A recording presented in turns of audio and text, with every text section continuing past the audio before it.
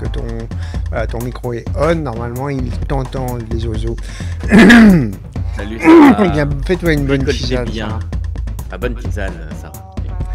Alors, euh, je vérifie juste un petit truc. Comment?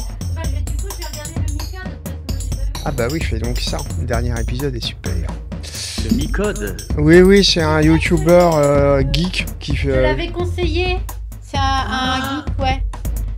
Oui, oui, ça y est. Voilà. Un mec qui fait des trucs. Hein. Pour reprendre les termes techniques, cette surabondance de de parler. C'est rudement précis. Mec qui fait des trucs exactement. Ouais. Installez-vous donc bien les gens. Hop là. Oui, oui, le dernier est consacré à une affaire de comment euh, qui a fait exploser un, un fichier client d'un service informatique de rencontre euh, de cul, Dans Ouais, tout adultère, je de rencontre adultérine, ouais. Donc il Oh. parle, il parle de ça, il parle de, de toute l'histoire de la construction à la fois de ce site et ensuite de euh, bah, des soubassements, de sa réalité technique.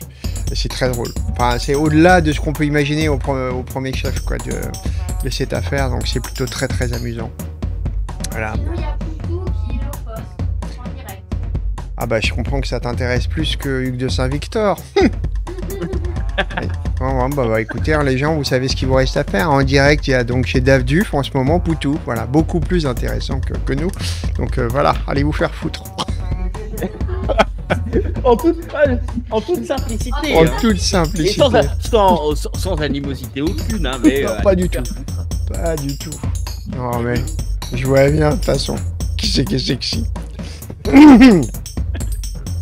Non, ouais, Ah non, ça aurait été de la violence gratuite, Sarah, si vous avez, si, si j'avais dit, bah, si vous allez, si vous allez là-bas, euh, allez bouffer une corde. Là, Bah oui. ça aurait été de la violence gratuite, mais allez vous faire foutre, c'est, c'est c'est C'est léger. vrai, c'est se souhaiter du bonheur au fond. Je pense qu'en en ce moment, se faire foutre est ce qui peut nous arriver de mieux. hein.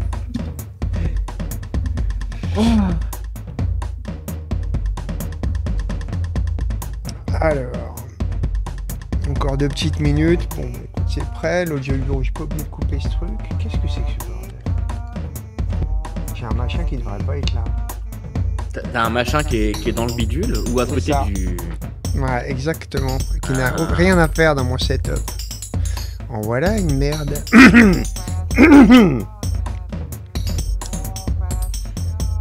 Il n'y a pas de musique ce soir. Ce sera un live sans musique. Et ça, allons nous faire foutre tant qu'on peut. Exactement ça. Occu- Occupons-nous sainement en attendant la mort. Et, et déjà essayer de faire un live qui soit diamétralement opposé à, à celui de Dave recevant Poutou, c'est-à-dire un moment, un petit moment très court de la semaine où on va essayer de parler d'autre chose que, que de politique, en tout cas au, au sens de, de l'actualité politique, euh, qui a un peu tendance à envahir tout le champ pour nous. Oui. Donc j'imagine que pour chacun et chacune d'entre vous, c'est pareil, que c'est compliqué de penser à autre chose, de parler d'autre chose. On, on va essayer. Voilà. On, on va essayer. Avec Hugues de Saint-Victor. Ça, ça doit être possible. Il y a moyen.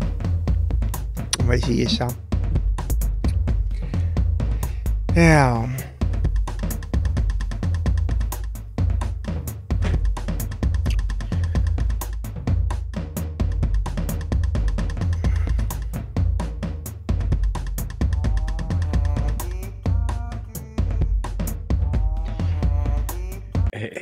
Hop, et voilà. Allez, on va pas attendre jusqu'au bout, ça sert pas à grand chose. Moi, je vous dis donc bonsoir, bonsoir à tous et à toutes. Donc, comme promis ce soir, on va tenter de se dégager un tout petit peu la tête, si c'est possible. Tu vois que le chat n'a pas l'air d'apparaître à l'écran. Qu'est-ce que c'est que ce bordel? Ah, C'était bah oui, déjà le cas la, la semaine dernière. C'est vrai, il y avait un truc bizarre avec le chat. Pourquoi il marche pas? Oui, là, il apparaît, mais là, non. Bah alors, qu'est-ce que tu fous, chat? Pourquoi tu... Ah bah, il est là. Ah bah oui, il est, il est pas au bon endroit, ce con. Qu'est-ce que qu'est-ce que c'est que ça? Il est trop grand. Oh là là, mais Laurent, tu fais tu fais vraiment n'importe quoi. Il fait n'importe quoi. Bon, excusez-moi, je règle ça, voilà. Petit problème technique. brouillon. Oui, c'est ça. C'est très brouillon, euh, cette chaîne.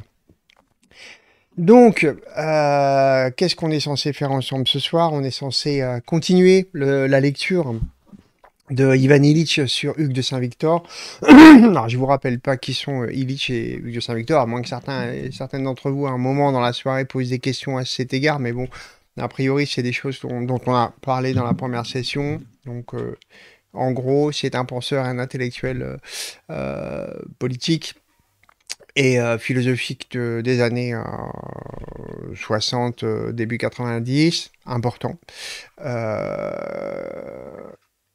qui écrit sur un penseur et un intellectuel du XIIe siècle important. Voilà, ça, va être un peu ça. Voilà, ce cher Yvan, effectivement. Donc on va continuer ça. On n'avait pas énormément avancé parce qu'évidemment, comme d'habitude, on a euh, pas mal digressé. Voilà, parce qu'on ne peut pas s'empêcher.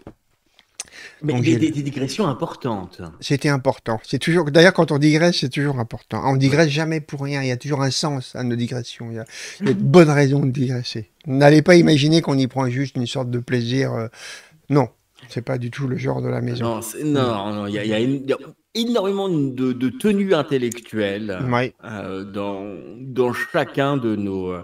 Euh, quand on prend la route touristique pour parler d'un sujet, le petit euh, chemin de traverse, oui. Voilà, c'est pas, c'est jamais gratuit. C'est, pour vous montrer de, les, paysages pittoresques. Exactement, parce que c'est joli aussi au loin, au loin dans la pensée, les petites montagnes de concept. Les jolies petites collines de concept. Flubudu, euh, à toi aussi, Solarius, quoi que veuille dire Flubudu par ailleurs. Donc on était rendu, euh, je peux pas vous donner le numéro de page, ça va pas servir à grand chose parce que le bouquin qu'on lit c'est ça, c'est euh, une, anthologie euh, de textes que vous voyez une fois de plus à l'envers. Pour ne pas changer. Donc on est en train de lire les, les serveurs, c'est comme, on va peut-être pas faire la même blague stupide chaque semaine parce que c'est lourd. Bref, on est en train de lire les œuvres complètes de Ivan Illich. Et du coup euh, la pagination, bah, c'est celle de l'anthologie, pas celle du volume. Je ne sais pas dans quelle, euh, d'ailleurs, dans quelles conditions le texte a été publié la première fois. Euh, moi, je le rencontre à l'intérieur de cette anthologie, donc je ne sais pas s'il y a des précisions sur son histoire éditoriale. Il est, il est édité, il est édité à part aussi.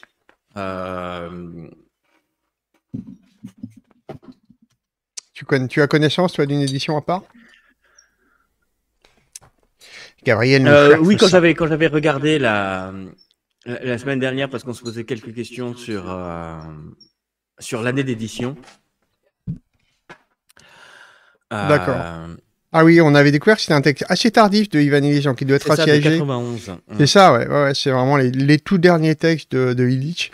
Donc d'une certaine manière, il ramène après des années de, de travail d'écriture politique, notamment sur les institutions. Un salut Jajazman, il vient ramener quelque chose qui appartient à son histoire propre et qui en était en quelque sorte escamoté, du moins à l'intérieur de son travail d'écriture euh, politique intellectuelle, à savoir euh, euh, sa vie théologique, en quelque sorte, hein, lui-même ayant eu une expérience de vie dans le corps ecclésiastique. Et là, d'un seul coup, le voilà dans une espèce de retrouvaille on, retrouvaille, je parle d'une retrouvaille à l'écrit, parce que j'ai pas de doute que tout au long de sa vie intellectuelle, il, soit resté fidèle euh, à, son, à cet intérêt pour euh, la pensée chrétienne, mais en tout cas, il n'en parlait plus euh, dans ses textes, pas à ma connaissance. Et là, donc, sur un texte tardif, il y a. alors, le texte s'appelle. Je vous n'avez pas donné le titre intégral du truc. Donc, il contextualise bien, finalement, l'horizon de ce travail d'écriture. C'est du lisible au visible, la naissance du texte, un commentaire du Diescalicon de Hugues de Saint-Victor. On a un peu évoqué hein, le travail euh, de Hugues de Saint-Victor sur la pédagogie, donc euh, la place qui prenait euh, très importante son Didascalicon, Et je suppose que la naissance du texte, il faut prendre là donc le type de rapport essentiellement qui fait apparaître le texte au cours de la lecture à celui ou celle qui le lit. Donc le texte comme naissance dans la lecture. Salut à toi Danimère. Et salut donc, j'ai pas salué Jajasman, honte à moi. où on en était? Euh, je crois qu'on était là, on était à la page en tant que miroir. On avait lu juste la toute première partie. C'est d'ailleurs vraiment pas grand chose d'un texte qui est quand même relativement long. Euh, putain, oui, la vache. je viens de me rendre compte. ok. De ce dans quoi tu t'es embarqué. Ok. Si, si, je l'ai fait, je t'avais salué. D'accord. C'est bien. C'est important de vous saluer, de vous accueillir, de savoir vous accueillir quand vous arrivez. Donc on va poursuivre en compagnie de Gabriel, comme euh, souvent pour nos lectures du dimanche soir. En général, c'est plutôt Gabriel qui lit un texte et moi qui l'interromps tout le temps. Voilà, c'est un peu... Et là, pour une fois, on, va essayer d'inverser les rôles. Oui. Encore qu'il soit bien sage, notre Gabriel. Tu m'interromps pas souvent quand même. Je te trouve euh, assez clément euh, avec moi à cet égard. Euh, alors, ah, j'allais dire quelque chose d'incroyablement maladroit, c'est-à-dire que je, n'interromps que quand, que quand il me semble que j'ai des choses pertinentes à dire, ce qui en fait est. c'est. Ce serait maladroit. En fait, donc voilà. Oui, oui, c'est une façon de me faire remarquer très très adroitement à quel point je. C'est pas mon cas, quoi. C'est ça. Donc on va dire que j'ai pas hmm. dit ça en fait. Tu t'en es rendu compte en le disant, tu peut-être qu'il va pas bien le prendre. Attends un peu mon salaud. Attends qu'on se retrouve IRL, si tu veux. oui. Il y avoir des. Oui, oui my foot, very, very near euh, from your bottom. Very near. close, close. Pas close, pas near, close. Bon. Euh, alors, euh, it is pas bien du tout, what you fais. It is mal, mal, mal. What, uh, what a beautiful English you have. You know. Mhm. Alors, donc le chapitre suivant, c'est la page en tant que miroir. Il faut voir quand même aussi la, la, place que prend au Moyen Âge euh, l'image du miroir, mais j'imagine que, que comment euh, que euh, Illich va nous en parler, mais c'est vraiment la matérialisation, l'objet formel qui euh, incarne le mieux la connaissance. Et à ma connaissance, cet objet de la connaissance, enfin, cette, cette espèce de fonction de la connaissance, cette représentation de la connaissance, euh, prend déjà ses racines clairement dans, l'Antiquité.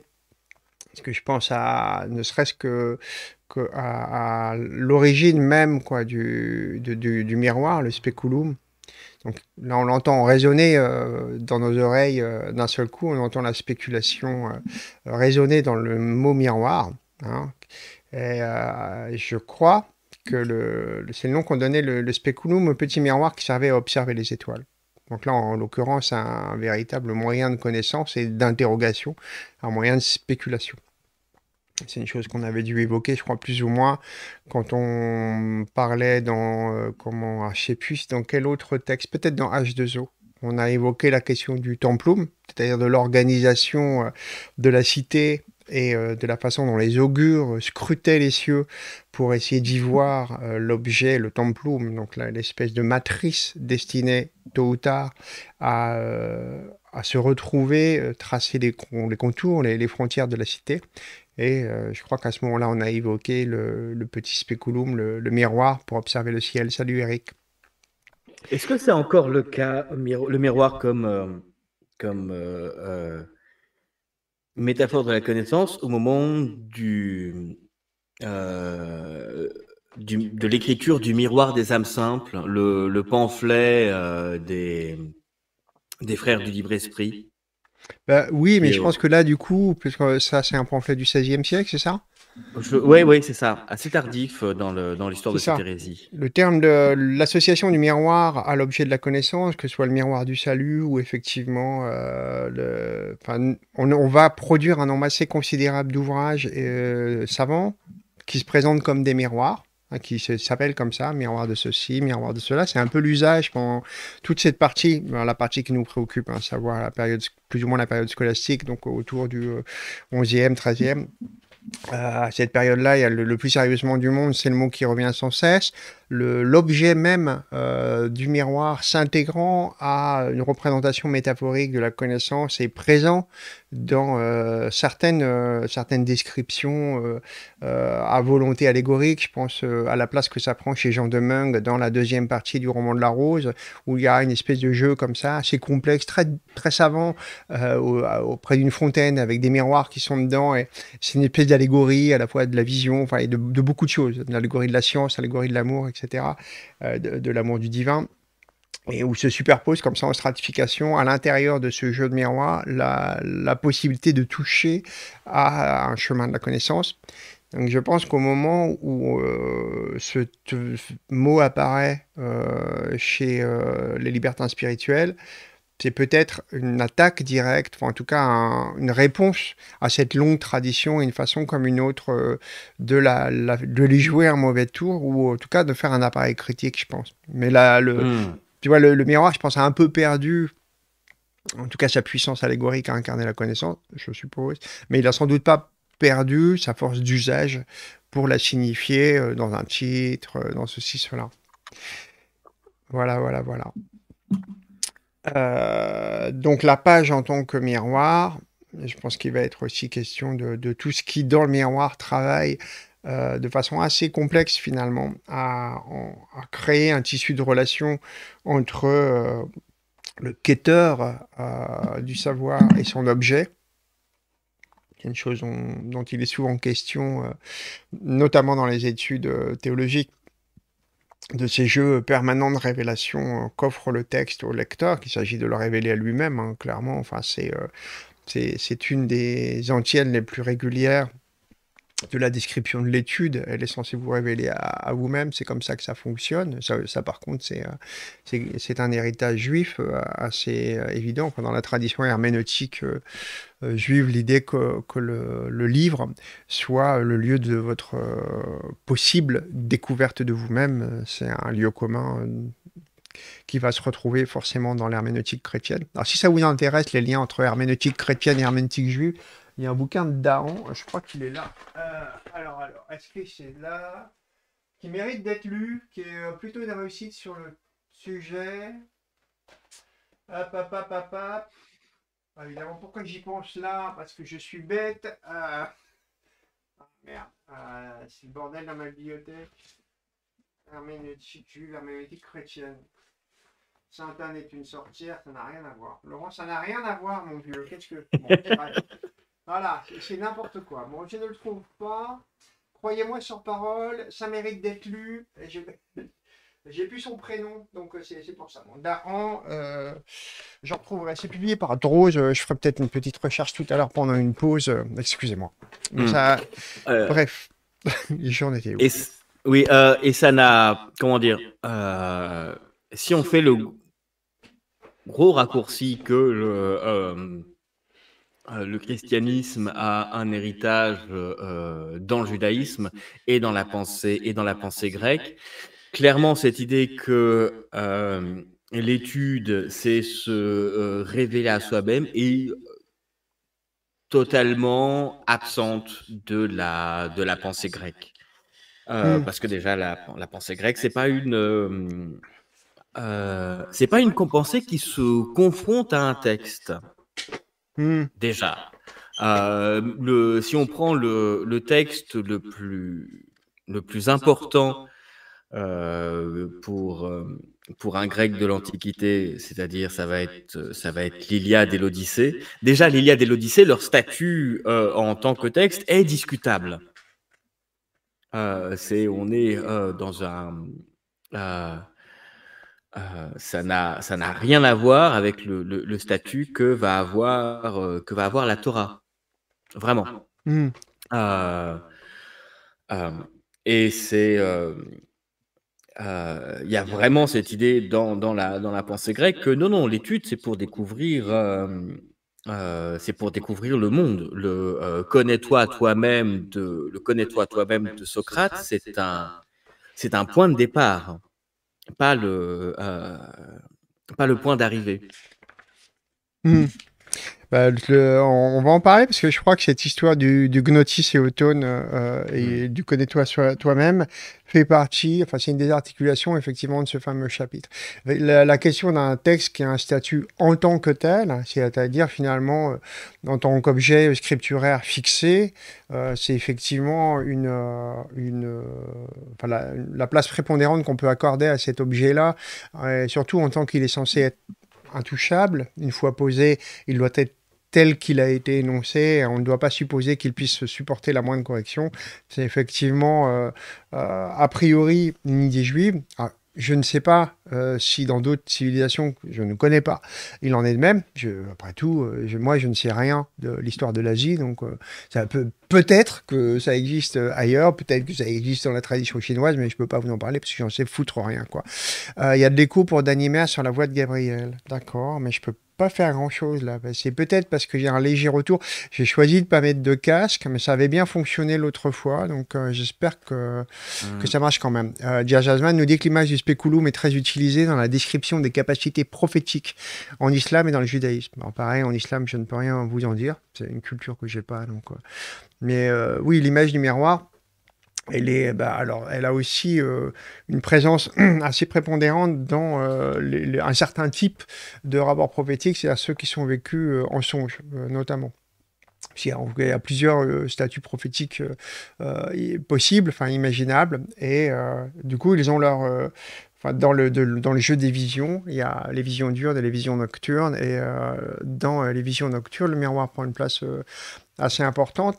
Euh, je pense que si chez les Grecs, ça avait euh, moins d'importance, ou plutôt, euh, en tout cas, si on risquait pas d'y rencontrer un, rapport spéculaire, comment, à l'avantage de l'esprit de la connaissance, c'est qu'il me semble plutôt que le miroir représente exactement le contraire. Mais l'image, par exemple, Platon avait un terme, je ne sais plus si c'est les fantasmas, hein, le, nom que les Grecs donnaient à un certain type d'image. Ils avaient un nom pour toutes les images, en fait. Hein. Il y avait oui. Idolon, il y avait Iconos, enfin, il y a, six, je crois, ou sept mots pour parler de l'image selon leur statut, donc ça rend les choses assez savantes et assez subtiles. Et il y en a un précisément pour parler de l'image du miroir, dont, euh, qui fait partie de celles sur lesquelles Platon statue en termes de fausseté, de mensonge et d'illusion. Donc du coup, on a peine à imaginer euh, euh, trouver dans le miroir une image favorable pour la connaissance chez les Grecs, je suppose. C'est euh, dans la. Et parce que euh, on, est au plus bas dans la, dans la gradation de la réalité chez Platon. C'est-à-dire que tout en haut, on a, on a les idées qui se dégradent en, en, mathématiques et en géométrie, qui se dégradent en monde sensible, qui se dégradent en, en reflet euh, et en, en imitation. Hmm. Ah, donc oui, c'est euh, comme euh, c'est l'inverse d'une c'est l'inverse d'une métaphore de la connaissance, le miroir. C'est chez Platon, c'est une métaphore de la tromperie et de l'illusion. C'est ça. Alors, le bouquin dont je cherchais le titre, je viens de retrouver en fouinant un peu chez Drose. Non, je cherche pas le titre, je cherchais l'auteur, c'est Gilbert Dahan. Voilà. Et le titre exact, comme euh, essai d'herméneutique médiévale, c'est Étudier la Bible au Moyen Âge. Voilà. C'est un très hmm. chouette bouquin. Hein. Je ne saurais trop vous le conseiller parce que c'est vrai que la, plupart des amateurs de littérature euh, comment euh, savante médiévale postulent souvent que l'origine, par exemple, des niveaux de lecture, euh, cette tétralogie de niveaux de lecture, par exemple, soit une invention euh, juive, euh, de l'herméneutique juive rabattue sur l'herméneutique chrétienne, et en fait, c'est le contraire. Et c'est intéressant de voir comment les deux cultures jouent au, même moment les unes avec les autres, finalement, à produire des cadres de réflexion. Et c'est pas du tout unilatéral. On aurait tort de supposer, parce que le christianisme est une filiation comment historique, religieuse du judaïsme qu'il est aussi une filiation en toute chose. Ce n'est pas le cas. Donc c'est important de, bien euh, comprendre ça, que l'image du jardin de la connaissance, par exemple du Pardès, euh, avec ses articulations en plusieurs niveaux de lecture, en fait c'est un, c'est un emprunt à une tradition herméneutique chrétienne. Voilà, qui est récente hein, pour eux. Salut à toi, Ragdou. Euh, c'est écrit toi est en haut qui fait du oh, gâteau, l'artiste est en bas qui fait du chocolat. tu, les connais par cœur ou quoi? Comment tu fais ça? Docteur Wack, tu es incroyable. On n'a toujours pas commencé notre chapitre, car telle est la coutume sur cette chaîne. J'ai quand même réussi à vous en lire le titre du chapitre. C'est pas mal. Une, demi-heure, euh, euh, une demi-heure d'introduction digressive. Je crois qu'on est dans les dans les clous de euh, de ce qui se passe pendant ces streams. C'est la tradition. Voilà. On a lu la page en tant que miroir, donc titre du chapitre, et ça nous a pris une demi-heure, donc on va vraiment beaucoup avancer dans ce livre, euh, à grands pas, je le sens. Alors, Hugues, donc Hugues de Saint-Victor, hein, demande au lecteur de s'exposer à la lumière émanant de la page. Ah oui, on se souvient d'un truc qui était euh, une proposition intéressante de, comment, de Illich, pour nous parler, ah, je ne sais plus sur la base de quelle réflexion, enfin de quel autre savant il s'était posé pour le faire, une proposition qui était assez intéressante, même si, euh, bon, c'est qu'une proposition, euh, je veux dire par là, je, la... C'est difficile de l'étayer par quoi que ce soit si on n'a pas un texte de référence qui soit contemporain des objets dont il parle, en l'occurrence des enluminures, mais comme, euh, comment Illich était très flou sur l'enluminure, on peut dire qu'il s'est un peu au doigt mouillé qu'il nous sait cette proposition, mais elle n'est pas conne. C'est-à-dire qu'il compare euh, les usages de la lumière euh, dans euh, l'iconographie des enluminures avec celles un peu plus tardives qui vont se développer dans la peinture. Alors il se gourre sur à peu près tout en matière de, comment, de, de temporalité, mais on s'en fout, l'idée est loin d'être conne. Il remarque qu'il y a peu ou pas de tentatives de produire une lumière causale extérieure aux figures, c'est-à-dire une source de lumière qui ferait partie de la scène représentée, pour justifier les, couleurs et les ombres des personnages. Là où, peu à peu, euh, à partir de la Renaissance, mais surtout on va le développer énormément dans la période un peu plus tardive, maniérisme puis caravagisme, la source de lumière va devenir centrale de la façon de penser l'espace et va composer cet espace bien plus que la perspective. Euh, il en dit cette chose que dans ce cas-là, il faut accepter l'idée que la lumière euh, est un autre statut. Donc, il parle de plusieurs aspects euh, et, plusieurs théories de la lumière à cette période. Là, je vous renvoie au live de dernière fois. Mais tout ça pour vous dire qu'il il fait apparaître l'idée que la lumière émanerait, serait pensée comme émanant directement des figures et pas comme soumise à une cause extérieure. Donc, une espèce de lumière continue depuis la page. Voilà. Donc il demande au lecteur de s'exposer à la lumière émanant de la page, ut agnoscat se ipsum, donc de façon à ce qu'il puisse se reconnaître euh, lui-même. Hein. je crois que c'est assez, euh, assez littéralement euh, ce, que, ce que signifie comment ut agnoscat se ipsum, hein. c'est il se reconnaît, il se connaît lui-même. Hein. il se reconnaît. Voilà, c'est l'expression pour se reconnaître. Alors que nous dire Agdou? J'ai écrit un script qui scanne les citations, les ajoute dans ma propre base de données, je peux faire une recherche par mots-clés. Ou alors tu as eu de la chance et tu es tombé sur la bonne page en deux clics. D'accord Tu nous laisses choisir l'hypothèse la plus euh, probable. Écoute, euh, la première fait de toi un type dangereux et maniaque et euh, extrêmement inquiétante, donc je préfère la deuxième. oui, c'est ça. La première suppose beaucoup trop de temps passé euh, sur, ce, euh, euh, sur un projet parfaitement inepte. Et On est d'accord. Mmh. Ça, ça, veut dire que c'est le genre d'attention qui suggère que tu as chez toi une chambre froide dans laquelle des bouts de corps humains attendent d'être consommés. Alors, pour Solarius, comment on fait les quotes Tu mets un point d'exclamation, tu colles immédiatement le mot quote, ensuite tu mets add, A2D, et ensuite tout ce que tu mets à la suite deviendra une citation. Euh, on y va. Donc, je disais, avant de m'interrompre moi-même, euh, de façon à ce qu'il puisse se reconnaître lui-même, prendre conscience de son moi. C'est audacieux comme hypothèse. À la lumière de la sagesse qui fait briller la page, le moi du lecteur s'embrasera, et à la lumière de ce feu, le lecteur se reconnaîtra lui-même. Euh, voilà ce qu'en dit directement notre ami Hugues. Il dit Il doit rechercher les mots de la sagesse et travailler avec ardeur à toujours les garder devant les yeux de l'esprit, comme un miroir pour y voir son visage. Euh, sachant que les, yeux de l'esprit sont euh, tournés non pas vers le monde, mais vers l'intérieur. Alors, là encore, Hugues cite une autoritas. Il cite quoi? Il cite le fameux Gnotis et Automne dont parlait Gabriel, le connais-toi hmm. toi-même socratique, mentionné par Xénophon, qui traversera toute l'Antiquité et sera largement cité au XIIe siècle. il y a un texte auquel se réfère euh, Illich, qui est de Pierre Courcel, que j'ai pas lu, hein, qui est le Connais-toi toi-même de Socrate à Saint-Bernard. Ça a été publié en 1974 dans les études augustiniennes. Et l'auteur examine la transmission de cette prétendue maxime delphique de sa première mention dans Xénophon jusqu'à l'école de Hugues de Saint-Victor.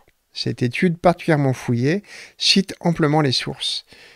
Alors voilà ce qui est dit en latin, mais avec sa petite traduction. L'esprit immortel, éclairé par la sagesse, se retourne vers son principe et reconnaît combien il est déshonorant de rechercher quelque chose hors de lui-même, lui à qui aurait pu suffire ce qu'il est lui-même. On peut lire sur le trépied d'Apollon, Gnotis automne, c'est-à-dire connais-toi toi-même. Euh, à, quoi il se réfère quand il dit que c'est sur le trépied d'Apollon qu'on peut lire Gnotis automne Alors, euh, là, je ne vois pas parce que euh, pour moi, le Gnotis automne, il, vient des, il vient des sept sages d'Athènes. Donc il n'a pas une, euh, il a pas une origine, euh, il a pas une origine divine, enfin pseudo divine. Euh, c'est une des, oui, c'est une des, c'est une des sept formules qui font partie de la, de, de l'image que les Athéniens souhaitent avoir d'eux-mêmes en fait. D'accord. Et euh, est-ce que tu peux nous éclairer sur euh, le fait que, que ce soit euh, considéré comme maxime delphique? Alors, le, là, pareil, c'est. J'ai vraiment l'impression qu'il y a une. Qu'il y, a a une confusion de, de plusieurs histoires là. D'accord. Parce que le, une des légendes autour de la, de la figure de Socrate, euh, c'est que un, de ah. ses, amis avait demandé à l'oracle de Delphes, qui était la personne la plus sage d'Athènes, et euh, l'oracle de Delphes aurait répondu qu'il s'agissait de, euh, qu'il s'agissait de Socrate. D'accord. Sur le temple de Delphes étaient gravées les citations des sept sages d'Athènes. C'est ça. Il y a 147 aphorismes inscrits à Delphes sur le temple et la huitième serait le euh, Gnotis et Automne. Connais-toi toi-même. Donc c'est ça. Et elles sont alors attribuées aux sept sages de Grèce, transmises sous le titre de précepte des sept sages. tu sais, je ne sais rien de ça. J'avoue que là, pour le coup, euh, c'est un truc. Euh, T'étais passé à côté de ça? Donc, je ne connaissais pas hein, l'histoire des maximes delphiques ou commandements delphiques. Donc, 147 aphorismes inscrits à Delphes. J'ai un peu honte, je suis en train de vous lire une fiche Wikipédia, mais là, je n'ai pas trouvé mieux euh, comme réponse immédiate. Donc, il faudra euh, chercher autre chose pour être un peu plus précis. Euh, voilà, il y a un texte par contre qu'on trouve sur la base de données de textes de chercheurs chez Percé un essai de Yalenko sur les maximes delphiques d'Aï Kanum. Donc c'est euh, une des euh, versions euh, qu'on peut trouver et dont il est fait mention par ailleurs dans l'article que j'étais, dont je vous lisais un petit extrait. Voilà. Bien. Donc du coup, cette phrase socratique est mentionnée par Xénophon, est considérée aussi comme une des maximes delphiques, en tout cas inscrite là sur le temple. Hmm. elle est elle est mentionnée, elle est d'abord mentionnée, il me semble, dans le, euh, chez Platon, cette, euh, maxime. Ça, les, je crois que les deux infos rentrent pas en contradiction. Hein. D'ailleurs, euh, il me semble pas. Oui, elle, est, elle, est, mentionnée par Xénophon, mais c'est pas Xénophon qui la mentionne en premier. Il me semble que Xénophon commence à écrire après Platon. Ah bah oui, il le dit lui-même, là, Illich, il dit le gnoticioton socratique mentionné par Xénophon. Donc cette généalogie, hmm. il, tu vois, il l'affirme, il la prend pour lui. Hein. Mais bon, il m'apprend quelque chose sur cette histoire de, comment, Maxime Delphic. Bah, écoute, je me plongerai dedans ultérieurement. Ça m'intéresse de voir de quoi il retourne exactement. Alors, cependant, le simple fait qu'une phrase clé qui fait autorité ait été citée dans des termes immuables durant plus d'un millénaire ne garantit en rien que son sens soit demeuré inaltéré. Euh, oui, on pourrait même dire euh, au contraire. Je pense que plus une phrase se solidifie dans sa forme, plus il y a des chances qu'elle soit investie et réinvestie euh, jusqu'à ce que le sens originaire euh, ait explosé. Hein. Hmm. C'est la raison pour laquelle je suis tenté de traduire ipsum dans les textes de Hugues par ton moi plutôt que par toi-même. Ah voilà pourquoi il s'autorisait, euh, quand j'ai dit que c'était un peu audacieux, l'apparition du moi dans, euh, dans cette propédeutique-là. D'accord. Ce que nous voulons dire aujourd'hui dans la conversation courante, quand nous parlons du moi ou de l'individu, est l'une des grandes découvertes du XIIe siècle. Ni dans la constellation conceptuelle grecque, ni dans la romaine, il n'y avait de place où aurait pu s'insérer cette notion. Colin Morris écrit L'étudiant des pères grecs ou de la philosophie hellénistique aura probablement du mal à prendre conscience de la différence entre leur point de départ et le nôtre. Notre difficulté à les comprendre est largement due au fait qu'ils n'avaient aucun équivalent à notre personne. Oui, ni même à notre sujet, par ailleurs. Encore que parfois l'antéléquie semble s'en rapprocher un peu, mais oui. Ce serait quoi pour toi la personne grecque? Comment tu, tu la penses? Enfin, Si ça veut dire quelque chose, disons plutôt la personne dans la partie de la philosophie grecque qu'on connaît le mieux, donc celle de la période 5e siècle en gros, euh, avant l'ère chrétienne. Alors là, le, euh, là j'ai un problème de j'ai un problème de terme parce que euh, persona c'est le c'est le masque de que, portaient les les acteurs que portaient les acteurs. Donc je je vais avoir, j'ai là beaucoup de difficultés à, débrouiller euh, ce que ça, euh, ce que ça peut vouloir dire personne dans la Grèce antique, euh, partant de, partant de là en fait, parce que c'est, qu'est-ce que, quel est, quel est le terme autre que personne que je vais utiliser en grec ancien qui soit pas persona pour parler de ce que c'est que la Là, je ne vois pas comment répondre à cette question. Bah, je pense que ce qui, ce, qui, ouais, ce qui serait difficile à trouver, c'est c'est quoi le terme qui serait le plus ajusté pour parler d'une euh, singularité vivante, d'une euh, d'une vie individuelle, en fait? Pour trouver un vague équivalent assez juste hmm. dans la pensée grecque. Et c'est... Euh,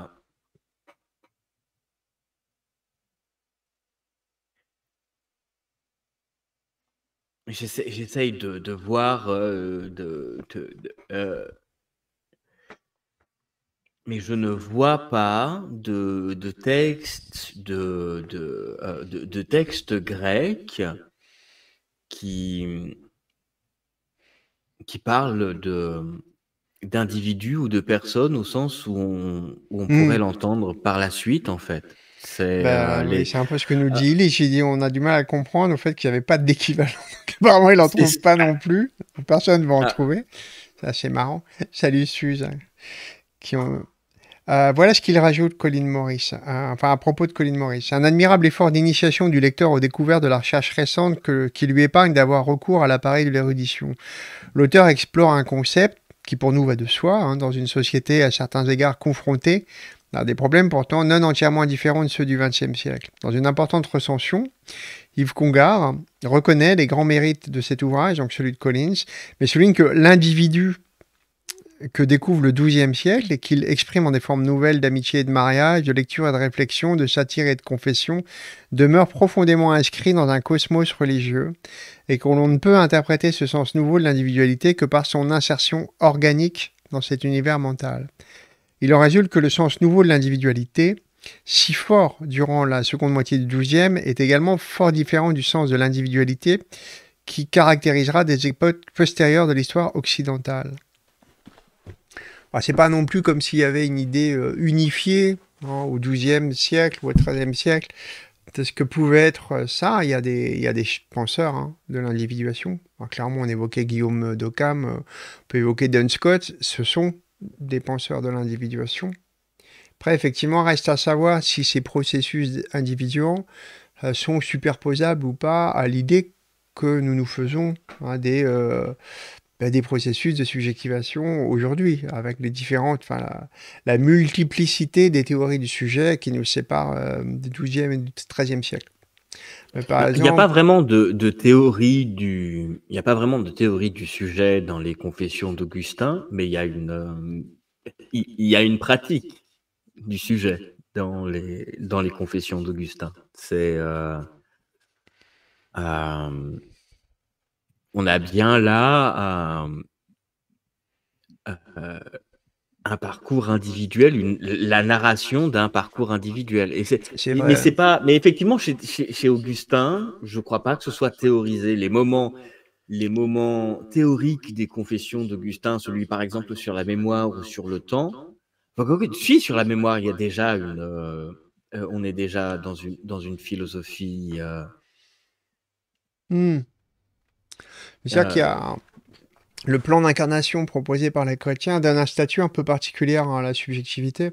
Et euh, le fait qu'il y ait une coïncidence euh, du plan divin au plan euh, matériel, au plan terrestre, qu'il y a une espèce de, syncope comme ça assez troublante du plan divin avec la matérialité, qui donc imprime une présence réelle hein, pour les chrétiens de Dieu dans diverses vies. Donc, ce qui fait du coup de la, de, du livre saint euh, pour les chrétiens bah, une biographie du Christ, qu'elle mm. soit liée étroitement à d'autres biographies, que ces biographies, euh, très marquées comme telles, hein, comme celle de Paul, etc., gagnent leur vertu de réalité au nom de la possibilité d'en suivre le parcours historique, en gros, du simple fait de pouvoir suivre l'histoire paulinienne, par exemple, de lui accorder un crédit d'authenticité et sur ce crédit va reposer en quelque sorte l'autorité de son parcours apostolique, du fait qu'il puisse avoir prétention à diffuser la parole. Il y a un statut particulier effectivement euh,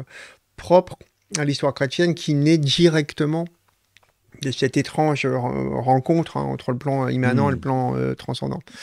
Euh, ensuite, après la pensée de, de l'âme au 12e, au 13e, là je pense vraiment euh, à euh, Scott ou à Guillaume d'Occam, l'idée d'une tension de l'âme vers un but, c'est-à-dire du fait qu'elle puisse à la fois être assujettie à euh, un plan divin général, mais qu'elle ait une sa propre tension, dire qu'une âme tende vers quelque chose, c'est appuyer aussi la singularité euh, vers laquelle s'exercera euh, complètement la possibilité de l'isoler de toutes les autres âmes.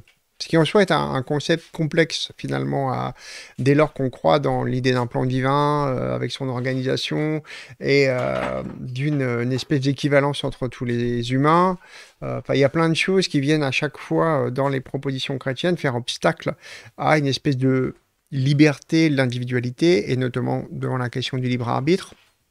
Et pourtant, sans cesse, le christianisme, enfin surtout le christianisme catholique par ailleurs, va affirmer et réaffirmer la nécessité de penser dans le champ du libre arbitre. Et là, pour le coup, c'est clairement un objet de biographie, le libre arbitre. C'est un objet dans lequel s'exerce pleinement l'idée de la puissance de vie d'un sujet sur lui-même, d'une certaine autorité sur lui-même, mmh. à posséder euh, sa vie, ses choix, etc. Je suis le capitaine de ma vie.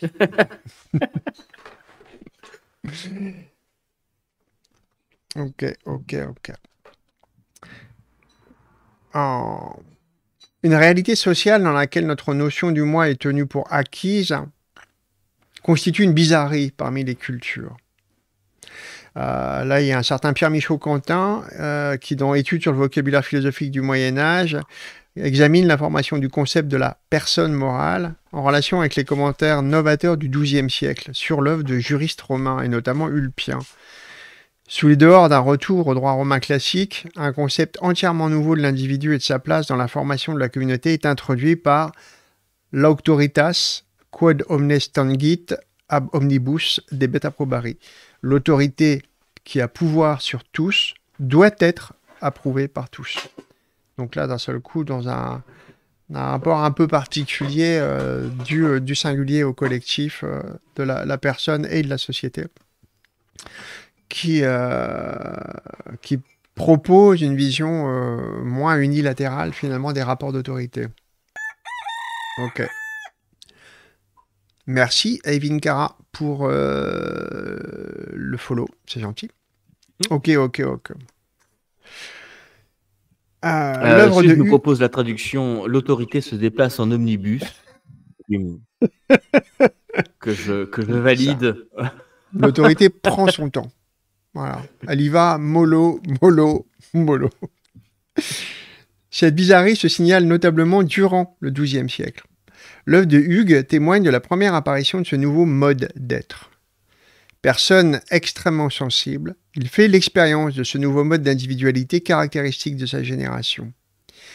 Il faut comprendre aussi qu'il apparaissent à peu près au même moment plein de propositions qui vont tendanciellement hein, dessiner les, contours de plus en plus marqués sans jamais libérer l'homme évidemment de la tutelle divine, il ne s'agit pas de ça, hein. mais euh, par euh, la praxis en fait c'est-à-dire par le fait qu'il soit lui-même impliqué dans son devenir et dans l'histoire, euh, à déterminer celle-ci par ses actes et euh, en faisant ressortir le caractère très individuel de ses actes. Par exemple, pour ce qui nous concerne sur la chaîne, on parle souvent de la possible apparition euh, du sens de, de l'artiste comme figure, hein, comment un peu capable de se déterminer elle-même dans ses choix et ses affirmations. évidemment, il faut prendre 2000 pincettes. Hein. Mais on, voit bien ensemble quand on va se balader euh, sur la chaîne euh, dans les productions sculpturales ou picturales euh, du passé, et notamment de ce passé-là, du passé roman, qu'une grande place, une place, je dirais, grandissante, propose l'idée d'un acte créateur humain, c'est-à-dire d'un acte qui se réfère à l'acte créateur divin, la figure du Deus Pictor, du dieu peintre, elle est ancienne, mais l'idée que ça puisse être léger, retroussé finalement, et qu'on retrouve un potentiel euh, d'exercice de soi sur soi dans la création chez les humains, c'est-à-dire qu'il existe quelque chose comme un artiste capable de créer, et pas complètement étrangère, quoi qu'on dise euh, souvent avec une certaine sécheresse, Jean Wirst, il y a euh, malgré tout des textes qui laissent peser à cette possibilité. il y a aussi des gestes, euh, des gestes d'une certaine autonomie. Certes, autonomie relative, hein. euh, qu'il s'agisse évidemment euh, dès le XIIe siècle de, signatures affirmées de tel artiste, que ce soit sur le, linteau des Ursulins, avec les scènes cinégétiques là, et les, les, fabliaux à, à Bourges, ou que ce soit le tympan signé par Gilles Bertus à Autun. Bon, ça, c'est un mode d'affirmation, mais après tout, que vaut-il? Parce que pour comprendre ce qu'il vaut, il faudrait comprendre ce que vaut un nom, donc retour à la case départ. Mais c'est pas par cet aspect-là hein, que, je, que je me permets de dire ça, c'est vraiment. Euh, problème, j'ai un petit trou de mémoire sur euh, ma référence principale en matière de, de, choix, d'affirmer de, la, le, caractère créateur de, de l'œuvre d'art au XIIIe siècle, mais ça me reviendra. Et euh, c'est à travers les œuvres elles-mêmes et leur potentiel de contradiction avec les autres œuvres que je me permets ce petit, ce petit crochet. Mais le, euh, Et le, fait que, qu'il soit possible à l'homme de, euh, en tant qu'image de, en tant que fait à l'image de Dieu, de, euh, de créer à son échelle, euh, ça va être un élément, ça, va être un élément très important de, de la, euh, de la mystique chrétienne euh, plus tard. Donc ça vient pas de, ça vient pas de, ça vient pas de nulle part pour que ça, pour que ça explose. Par exemple, avec ce que va être l'hermétisme de la Renaissance, où c'est vraiment au. Mmh. C'est une considération qui est au cœur de l'hermétisme de la Renaissance, cette notion du, microcosme et le et de la, capacité créatrice euh, euh, des êtres humains en tant euh, qu'imagodéi, euh, à l'image de Dieu, pour qu'elle explose comme ça, il, a, il lui a fallu un point d'origine. Oui, oui, complètement. Elle est préparée par la pensée médiévale. Oui, mmh. tu as raison. Le... C'est pas une explosion comme ça magique. Elle n'est pas ex Non, bien sûr que non. Mmh. Ah, c'est un truc qu'on on a peu en tête quand on, quand on accepte euh, les euh, compositions euh, assez structurantes, assez pratiques des, des, périodes de leur enchaînement, on finit par complètement laisser de côté que c'est pas comme ça que se font les choses et, que c'est une mauvaise idée d'une façon générale de penser en dehors de cette temporalité douce et des, des, longs processus de fondu enchaîné qui font apparaître les formes, et de penser qu'en termes de rupture. C'est pas une bonne idée en tout cas artistiquement, euh, matériellement, littérairement, que ce soit le monde des images, le monde des productions architecturales, sculpturales, tout ce que vous voulez, les pensées dans des cadres de violente rupture, c'est un usage euh, qui repose surtout chez nous par la façon dont dialectiquement euh, s'est affirmée la construction des œuvres au XXe siècle, hein, voire au XIXe en petite partie, où ça n'est pas faux. Mais en fait, ça n'est que la vitalisation de principes internes à la composition, on pourrait dire littéraire des œuvres, qui s'est externalisée dans la composition sociale de celle-ci. D'ailleurs, les grosses tensions, qu'on pourrait dire thématiques, intellectuelles, etc., qui étaient les objets mêmes des œuvres, sont devenues le prétexte d'organisation sociale euh, de la vie artistique et est devenu a pris corps finalement dans les relations agonistiques de la scène artistique à la fin du 19e et à travers désormais tout, tout l'art.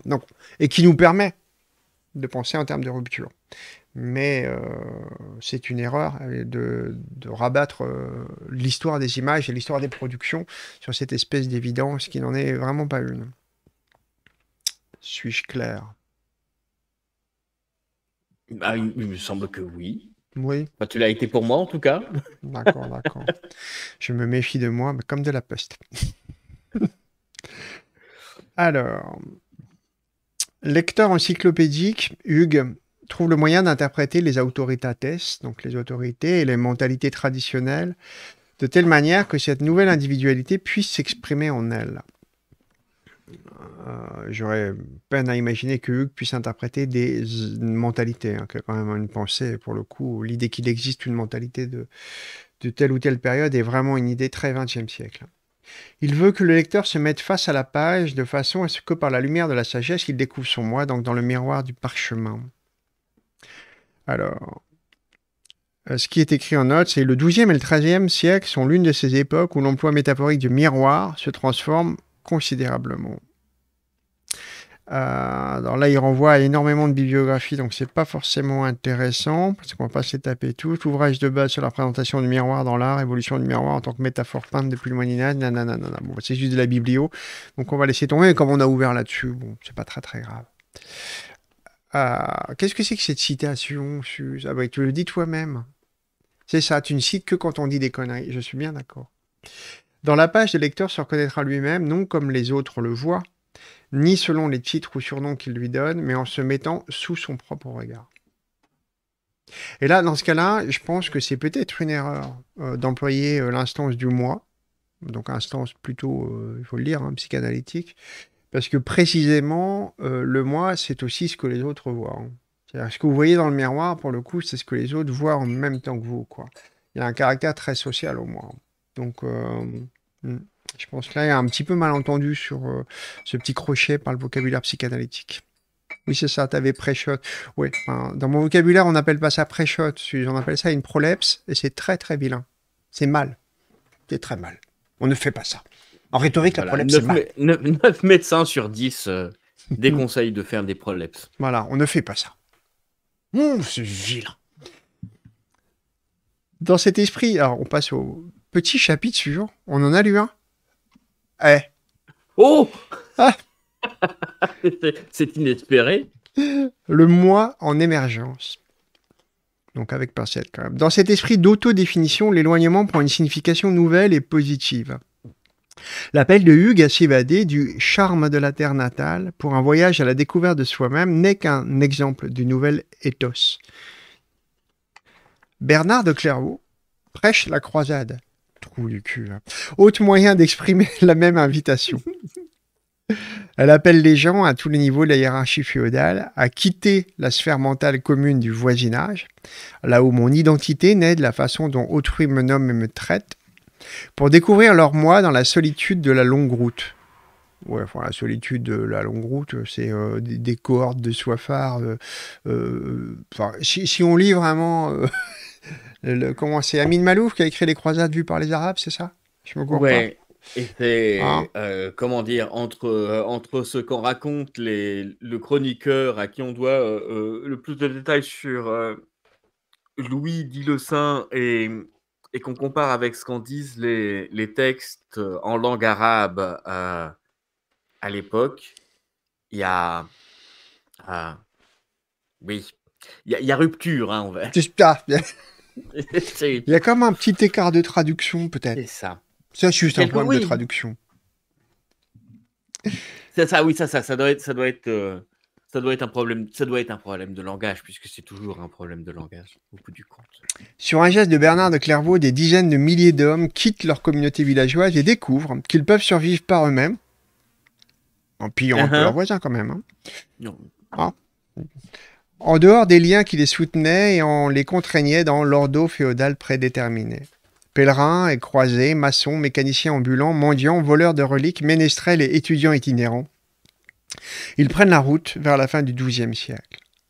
Lorsqu'il insiste sur le besoin pour l'étudiant d'être un exilé en esprit, Hugues fait écho à ce climat. Il n'est pas le seul de sa génération à redéfinir la vie cloîtrée comme peregrinatio instabilitate, donc comme voyage euh, dans l'absence de mouvement. Ce qui signifie le pèlerinage spirituel de ceux qui ont choisi le séjour stable au sein d'une communauté religieuse. Je ne dis nullement que le moi moderne est né au XIIe siècle, hein, ni que le moi alors en émergence n'était pas issu d'une longue lignée. Pour nous aujourd'hui, autrui est situé par-delà une frontière. Donc le fameux moi peau. C'est oh, comment s'appelle déjà le savant qui a conceptualisé cette idée un peu chelou mais intéressante du moipeau, qui est ce psychologue euh? Ah, Ça me dit rien. Agnès, Agnès est dans le coin qui pourrait nous éclairer? Elle est là, mais elle a un casque sur les oreilles. Hein. D'accord. On, lui demandera tout à l'heure. Hmm. Voilà. Euh, et le nom du psychologue qui a inventé le concept de moipeau Psychologue ou anthropologue d'ailleurs, je sais plus. Euh. Ou peut-être qu'anthropo-psychologue ou psycho-anthropologue ou peut-être juste cycliste. Euh, ben, euh, en yeux. Ah bah, vous l'avez dit en même temps, Jasmine et toi, c'est en yeux. Je suis désolé, Louisa. Effectivement, j'ai annoncé à la dernière minute. Et jusqu'à la dernière minute, je savais même pas si Gabriel serait avec nous, tellement j'ai oublié de le prévenir. Lui. C'est consternant. Ah, c'est un peu. Euh... C'est un petit peu brouillon. Ça arrive. Bah, D'ailleurs, entre parenthèses, c'est un concept qui n'est pas, très, eh, qui est, qui pas si inintéressant. Non, non, je, je le concept, ouais, complètement. Mais je pense qu'on va aborder quelque chose qui va. Il y a des choses intéressantes. Euh, qui pourrait ressembler à, cette idée. Hein, cette idée, euh, on va dire, d'avancer avec sa frontière, en fait. Notre personnalité est aussi distanciée de celle d'autrui que le sont nos corps. L'existence en tant que distance intérieure vis-à-vis de la communauté que devait découvrir par eux-mêmes le pèlerin en route vers Compostelle hein, ou l'élève étudiant le didascalicone est pour nous une réalité sociale, d'une telle évidence que nous ne songerions pas à en souhaiter la disparition. Nous sommes nés dans un monde d'exilés. Winston Hugh Auden l'a exprimé clairement. Winston Hugh Auden, poète hein, des années 60, euh, je crois, euh, anglais. Et ça dit ceci. Some 30 inches from my nose, donc euh, à, quelques 30 pouces de mon nez, the frontier of my person goes, and all the untilled uh, between is untilled, Pegus and Dismene. Euh, et tout l'air en friche dans l'entre-deux est un pagus, inculte et dégradé. Stranger, unless with bedroom eyes, I beckon you to fraternize. Beware of rudely crossing it. I have no gun, but I can spit.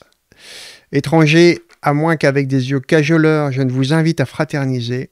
Attention de ne pas entrer trop brutalement. Je n'ai pas d'armes, mais je peux cracher.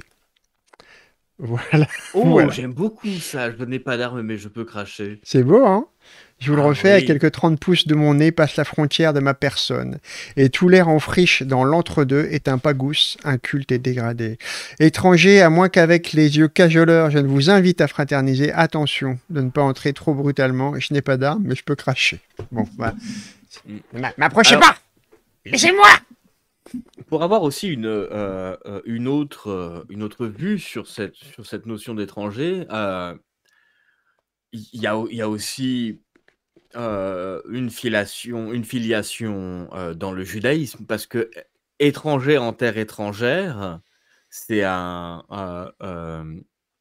c'est un moment important aussi de la, de la théologie, de la, déjà du, du, texte, parce qu'il me semble que c'est euh, c'est dans le Lévitique que qu'on trouve cette formule-là. Vous avez été étranger en terre étrangère. Euh, ça va, ça va avoir euh, un, effet sur les, sur les lois, sur le, sur le traitement des, enfin, et sur la. oui, déjà sur, sur les lois, que sur ce que ça veut dire aussi d'être à certains moments, en tout cas, euh, euh, juif. Oui. Et, euh, ça va être réapproprié aussi par. C'est quelque chose qu'on va aussi trouver dans les épîtres de Paul, le fait que les être être chrétien, c'est ne, c'est ne jamais être à sa place nulle part parce que on, être chrétien, c'est ne, c'est ne pas être de ce monde. Mmh. C'est pas c'est pas uniquement l'actualité euh, brûlante des croisades qui a derrière cette, euh, euh, cette incarnation de, de la figure de, de l'étranger et d'être un étranger et d'être en, en, pérégrination. Complètement. Ça me, ça me fait penser effectivement ouais, au fait qu'il y a une intégration de la pensée de l'étranger dans, dans la halakha qui vient essentiellement du fait que les, la question de l'exil et du fait d'être étranger euh, soit même euh, continuellement et, euh, et par, oui, partie prenante centrale de l'histoire de la construction de soi, de, de l'histoire du judaïsme. Et effectivement, quand tu me parles des chrétiens, je pense comment à, à, cette, aux Corinthiens ou, euh, ou le, mais je crois qu'on l'a déjà évoqué ensemble. Hein, nous sommes l'ordure de ce monde. Oui, ouais, c'est ça. Nous sommes les ordures de ce monde. Nous sommes méprisés, etc., etc. Nous souffrons la faim, la soif, la nudité, etc. Et euh, il accepte de prendre sur lui l'idée euh, d'être complètement étranger à la loi, à l'organisation sociale, à la reconnaissance même hein, de, de, du territoire dans, dans le, qu'il va traverser, et qui a le territoire infini pour le coup du paganisme désormais, enfin de ceux qui n'ont pas encore reçu euh, la révélation. Cette question de l'étrangeté, euh, elle va être euh, assez. comment Elle va frapper toute l'image de, de, l'apostolat. On dit généralement que cette frontière est apparue à l'époque de Hugues. Alors que cette frontière existentielle de règle pour toute personne qui veut s'adapter à notre genre de monde, dès lors elle a façonné la topologie mentale de l'enfant, celui-ci sera pour toujours étranger dans tous les mondes, sauf dans ceux intégrés par des exilés comme lui. On dit généralement donc que cette frontière est apparue à l'époque de Hugues comme l'un des aspects de la signification nouvelle de la personne, de la persona et de sa reconnaissance sociale. Voilà, de la reconnaissance sociale, donc c'est bien quand même l'idée, euh, si on parle du moi, que pour le coup, la question de la persona et du moi, pour moi, c'est la même chose. Hein. C'est-à-dire que si j'accepte l'idée euh, telle qu'elle est composée hein, par la, construction des instances et des topiques euh, d'un moi comme image vraiment sociale, donc image du miroir, telle que vous voyez de la même façon que vous soyez euh, l'objet du miroir ou le, que vous lui soyez extérieur, ou plutôt que vous soyez le sujet regardant ou le sujet regardant par-dessus euh, l'épaule de celui qui regarde, le, vous aurez la même image. Cette persona est clairement pour moi l'équivalent du moi. Bah, oui, le, euh, persona vient de vient de masque, mais ce serait à tort qu'on le traduirait par masque, parce que mmh. le masque de la le masque de la tragédie grecque, c'est pas un masque qui cache, c'est un masque qui montre. Mmh. et c'est dans c'est dans ce sens-là qu'il faut prendre la manière dont il est, dont il est réinvesti par, par la psychanalyse. Mmh. Alors c'est un peu différent dans la comment dans la perspective médiévale on conserve, alors ce qui euh, chez Platon faisait, euh, comment dire, donner un caractère statutaire particulier aux images du miroir, caractère statutaire dont il ne fallait pas douter de l'existence. C'est-à-dire que pour Platon, les images du miroir ont un statut d'existant dans le monde sublinaire. Hein, mettez-vous bien ça en tête. Donc du coup, c'est un peu particulier. Et, euh, Elles sont toutes en bas, mais elles existent. Oui, exactement.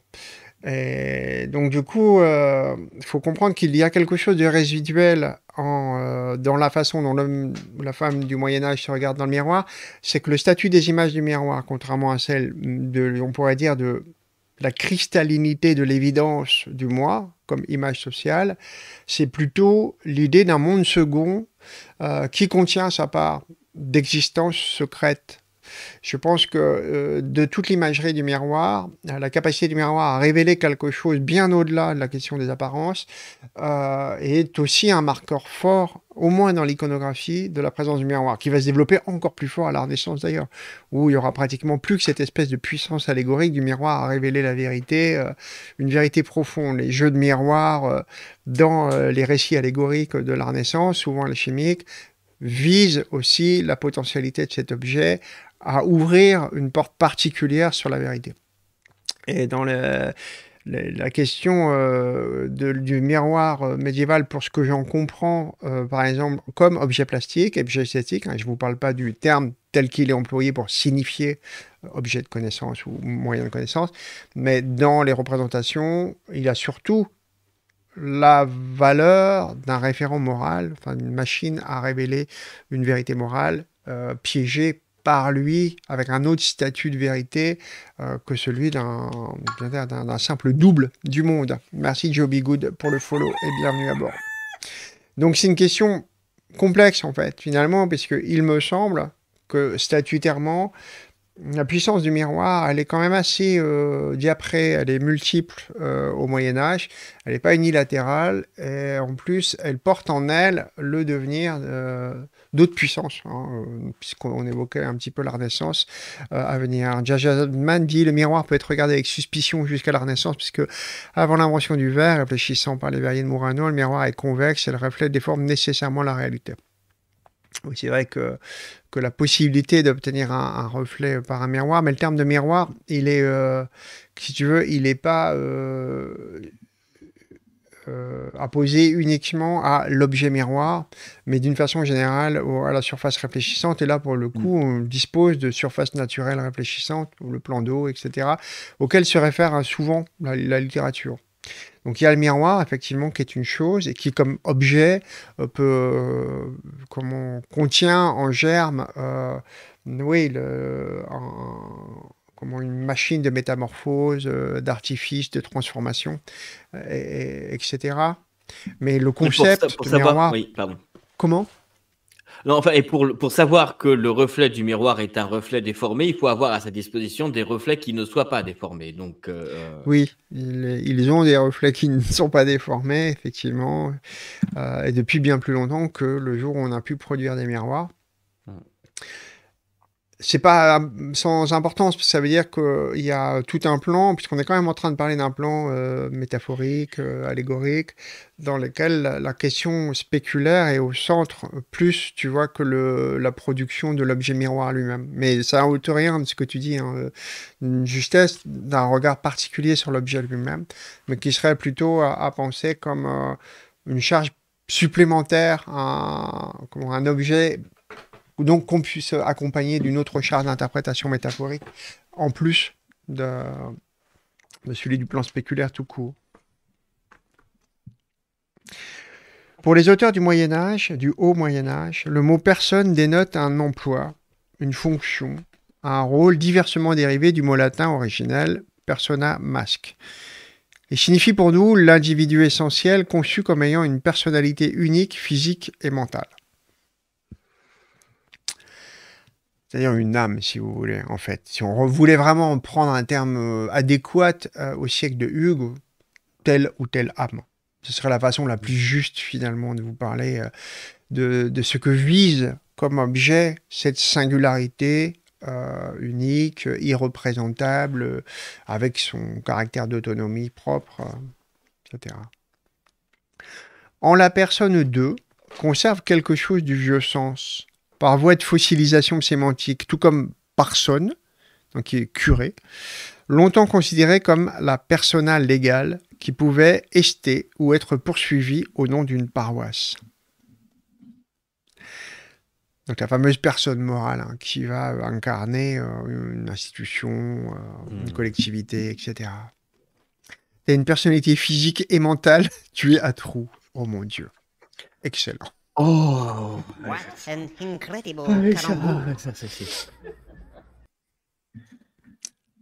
Ce que je veux souligner ici, c'est une relation particulière entre l'émergence de l'individualité comprise comme une personne et l'émergence à partir de la page de ce qui sera le texte. Hugues oriente son lecteur vers une terre étrangère. Mais il ne lui demande pas de quitter les siens ni ses paysages familiers pour se mettre en route d'étape en étape vers Jérusalem ou Compostelle. Il lui demande de s'exiler lui-même pour entreprendre un pèlerinage dans les pages d'un livre. Le but ultime dont il parle, qui doit attirer le pèlerin, c'est pas la cité céleste des pèlerins au Bourdon. le Bourdon, c'est une espèce de bâton de pèlerin. Euh, pour les pèlerins de la plume, c'est la forme du bien suprême. Et il fait observer que sur cette route, le lecteur entrera dans la lumière que lui révélera son propre moi. Donc la seule possibilité d'atteindre au texte, semble-t-il, c'est d'abord de commencer à s'atteindre soi en tant que lecteur ou lectrice. C'est la condition, si vous voulez. Hugues presse ses étudiants de ne pas lire pour paraître savants, mais de garder toujours la page devant l'œil de l'esprit comme un miroir pour leur visage. Donc de garder la page, si vous voulez, euh, devant l'œil de l'esprit en tête de conserver la page en tête, donc pas comme objet social de démonstration, donc le, lui arracher euh, sa puissance d'affirmation sociale, mais comme un miroir pour leur visage, ils se regardent en eux-mêmes par le texte. Hugues s'exprime toujours dans une perspective intensément visuelle. Dans la quête de la sagesse, il donne la primauté à l'œil. Alors cette question de la hiérarchie des sens, elle est extrêmement importante au Moyen Âge. Hmm. Euh, donc si ça vous intéresse sur euh, la base Micrologus, qui est une, enfin, la Micrologus est une revue assez passionnante et on peut trouver euh, plein d'articles qui sont en ligne et il y en a un qui est consacré à cette hiérarchie des sens au, Moyen Âge qui va charpenter les pensées d'une façon générale. Quand je dis les pensées, je veux dire les productions intellectuelles de tel ou tel penseur. Euh, la façon dont il aborde la primauté de tel ou tel sens va être assez cruciale, bah, tout simplement pour sa métaphysique. Quoi. Pour, euh, pour, construire sa conception du monde, euh, son rapport à l'organisation même de ce monde et les relations entre humains et monde des choses, eh bien, la construction du sensible, elle est, elle est primordiale et il y aura une hiérarchie. Si vous vous souvenez du boulot qu'on a fait sur Leibniz et euh, qui nous avait amené à voir toutes les formes de sensualisme euh, qui étaient euh, des propositions à rapport au monde, vous vous souvenez que chez Condillac et chez contemporains, il y avait aussi des hiérarchies de sens. Donc c'est pas un truc obsède que les, les gens du Moyen Âge, mais l'idée en fait qu'il y ait des points de contact sensibles avec le monde qui soient plus proches finalement des opérations de l'esprit que d'autres, c'est quelque chose que vous allez retrouver dans beaucoup de philosophies à travers les siècles, et qui d'une certaine manière vont peut-être vous aider à comprendre finalement euh, en partie l'organisation conceptuelle de telle ou telle pensée. Le fait de donner la primauté à tel ou tel sens vous dit quelque chose, déjà vous dit souvent quelque chose de moral, euh, par rapport à une philosophie. Il y, a, euh, il y, a, une morale du toucher, il y a une morale du regard, il y a une morale de l'ouïe, et elles ne sont pas pareilles. Elles n'ont pas le même rapport au monde. Elles établissent ce qu'elles pensent être des modes de distance au monde différents. Et à partir de là, se pensent elles-mêmes comme établissant d'autres types de privilèges de relation avec le monde. Donc chez Hugues, visiblement, c'est l'œil. Ce qui n'est pas étonnant, hein, c'est un pencheur de, de, la lumière. On a, on a déjà évoqué ensemble les liens très forts. Mais, c'est quand même très souvent que, que la vue euh, est prise comme. Euh, euh, enfin, la vue et lui, la vue et Louis, c'est comme, sont quand même les deux, les, les deux superstars de cette de cette priorité d'essence. Et c'est, je ne connais pas de, morale du. Tu mentionnais une morale du toucher, par exemple. Je j'en ai pas qui me viennent en tête. Les morales du toucher? Oui, qui qui mettent le, toucher comme comme mode d'appréhension de la connaissance privilégiée. Bah, bah ce serait il y a des artistes qui vont développer ça au XXe mmh. siècle, tu vois. Mais euh, sinon, non. il y a une logique euh, assez claire à ça, enfin, une logique apparente. Ben, c'est euh, parce qu'il y a aussi une hiérarchie de la quiddité qui passe par la façon dont on se représente la présence au monde et qui fait qu'on accorde plus de matérialité à telle ou telle chose dans le monde qu'à telle ou telle autre, plus de matérialité euh, à, l'objet qu'on peut effectivement dont on peut saisir qu'à celui qu'on peut juste entendre. Euh. et donc tout, tout, se joue, de, je crois, dans des, tu sais, une espèce de, de morale de la distance et donc morale de la pureté. Mmh. je pense qu'il n'y a effectivement pas de morale du toucher, c'est parce que c'est toujours un peu caca, tu vois, c'est un peu sale, c'est ah, trop direct, ça fait suffoquer euh, euh, tous les curseurs moraux euh, d'un seul coup d'imaginer. Euh. Regarde la façon dont on a longtemps voulu considérer le plus haut degré de spiritualité artistique à la musique par rapport à tous les mm. autres. C'est bien aussi parce que au son, on accorde un statut d'immatérialité illusoire, mais d'immatérialité en tout cas fantasmatique, qui l'élève à, je dirais, à la, à la hauteur des métaphores générales de, de la présence. Oui, alors que la, la, la c'est vrai que voilà, c'est, le cas, euh, bah, par exemple, chez, chez, Hegel, hein, euh, la peinture et la sculpture restent des, des, arts qui se confrontent à la matière, donc forcément inférieurs à la musique et à la poésie, qui sont euh, qui ne se confrontent pas à la matière, évidemment, dans, dans la vision délirante de Hegel. Alors pourquoi Saint-Matthieu, Ragdou Ah, tu confonds peut-être avec Saint Thomas qui touche la plaie du Christ, c'est ça hein? Tu essaies de faire une blague, euh, une blague chrétienne, mais tu te trompes de saint, je pense. Celui qui voulait toucher. Euh, chez Saint Matthieu, tu peux lire Heureux ceux qui croient sans voir. Hein. et je crois que c'est euh, chez Marc qu'on lit Heureux celui qui a cru et qui a vu. Donc ça veut dire que les évangiles entre eux sur la question du regard ont un rapport. Regard et foi assez complémentaires et divergents. Par contre, le toucher, euh, c'est oui, c'est Thomas qui est censé avoir touché la plaie du Christ pour euh, expérimenter hein, le, la, la, présence, pour le coup. Pour Hugues, la lumière affecte trois paires d'yeux. En plus, tu le sais très bien, tu as fait le catéchisme. Bah, bah bravo. Ah bah bravo. T'as suivi le catéchisme, tu l'as suivi, euh, tu l'as suivi de loin, et puis à un moment, le catéchisme n'a plus été qu'une silhouette à l'horizon, et puis t'as fait. Oh,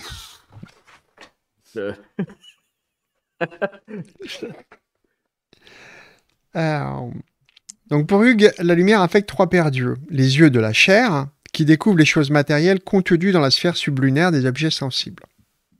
Les yeux de l'esprit, qui contemplent le moi et le monde qu'il reflète. Et enfin les yeux du cœur, hein, qui s'approchent au plus près de Dieu, dans la lumière de la sagesse, Fils de Dieu, caché, livre ultime dans le sein du Père. Alors là, on a quelques petites citations euh, à la fin. L'image proposée par Hugues de la deuxième personne de la Trinité en tant que livre est reprise par l'école franciscaine, donc chez Bonaventure. La sagesse, donc je, je vous ai déjà parlé de Bonaventure, je ne vais pas revenir là-dessus. La sagesse est inscrite dans le Christ Jésus comme dans le livre de vie, dans lequel Dieu le Père cache tous les trésors de sagesse et de science. Donc la sagesse est inscrite dans le Christ Jésus, donc dans, dans le corps même du Christ comme dans le livre de vie. Donc ça donne un statut aussi particulier à euh, la capacité descriptive des évangiles, c'est d'être seconde dans euh, l'état de vérité. C'est-à-dire d'être capable, par la description euh, biographique, de dire quelque chose de ce qui est dans le corps du Christ par, comment, par la relation de sa présence parmi les humains. Hmm. dans lesquels Dieu le Père cache tous les trésors de sagesse et de science. Donc il les cache, je dirais, à hauteur, hein, dans les deux, donc en lui-même, puisqu'il est Père et Fils, bien entendu, et dans le livre de vie, ce qui introduit évidemment des rapports euh, comment, euh, herméneutiques particuliers. Alors ça veut dire aussi un truc assez important, ça c'est une hypothèse d'Alexandre Koyev, si je me souviens bien, que pas mal. Koyev dit qu'il y a un, comment, il y a un saut paradigmatique avec le christianisme du seul fait que d'un seul coup, euh, il y a une matérialité de Dieu dans le monde des humains, dans euh, le rapport même à euh, la présence des choses à connaître.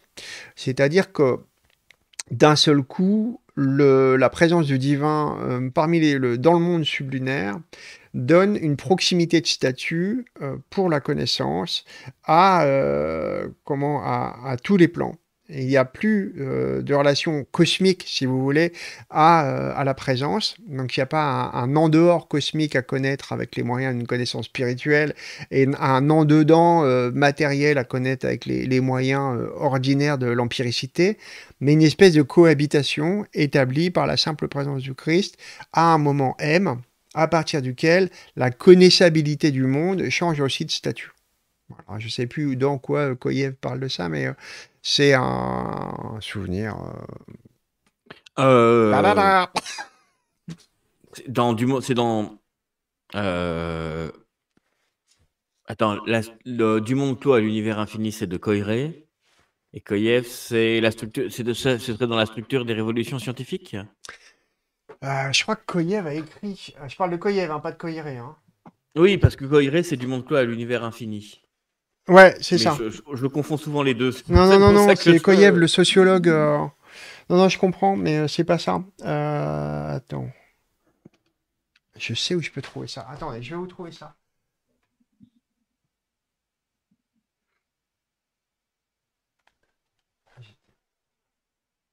Ah voilà, je crois que là-dedans, on peut trouver quelque chose. Attends. Hop, hop, hop, hop. Alexandre Koyev pose les prémices d'une réponse dans l'origine chrétienne de la science moderne. Son point de départ, c'est une observation factuelle. Si la science dite moderne étend aujourd'hui son emprise sur l'ensemble du monde, ta ta ta ta ta ta ta, à l'exclusion du reste du monde, elle n'est apparue que dans le territoire occidental chrétien au XVIIe siècle, c'est vite dit, hein, avec Copernic, Galilée et Descartes, qui sont les premiers à définir une science à la fois euh, comme mathématisable et empirique.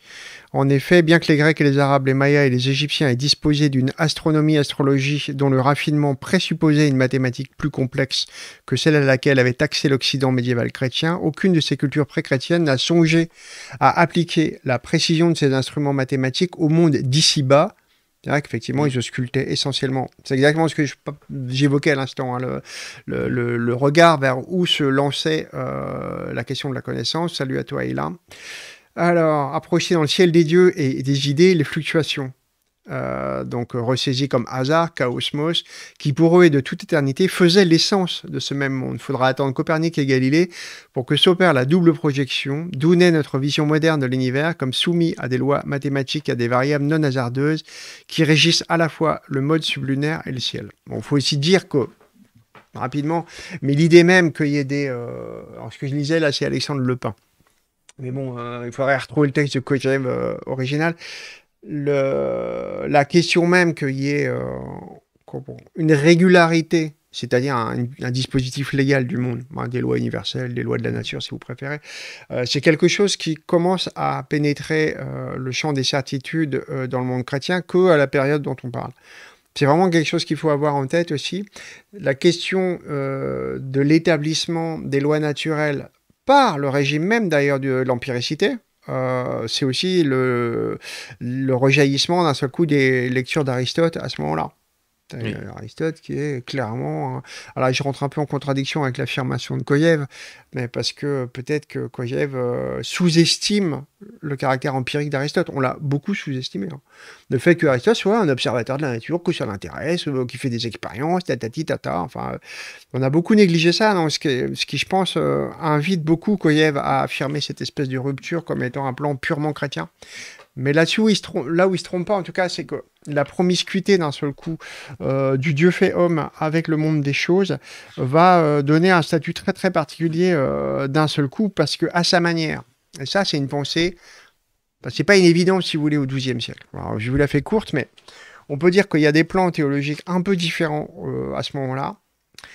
Il y a, enfin, je parle de l'incarnation. Il y a des propositions théologico-théoriques selon lesquelles, quand je vous parle hein, des petites querelles sur la, théologie de la lumière entre Bernard de Clairvaux et Sujet, finalement, c'est un peu la même conception du monde.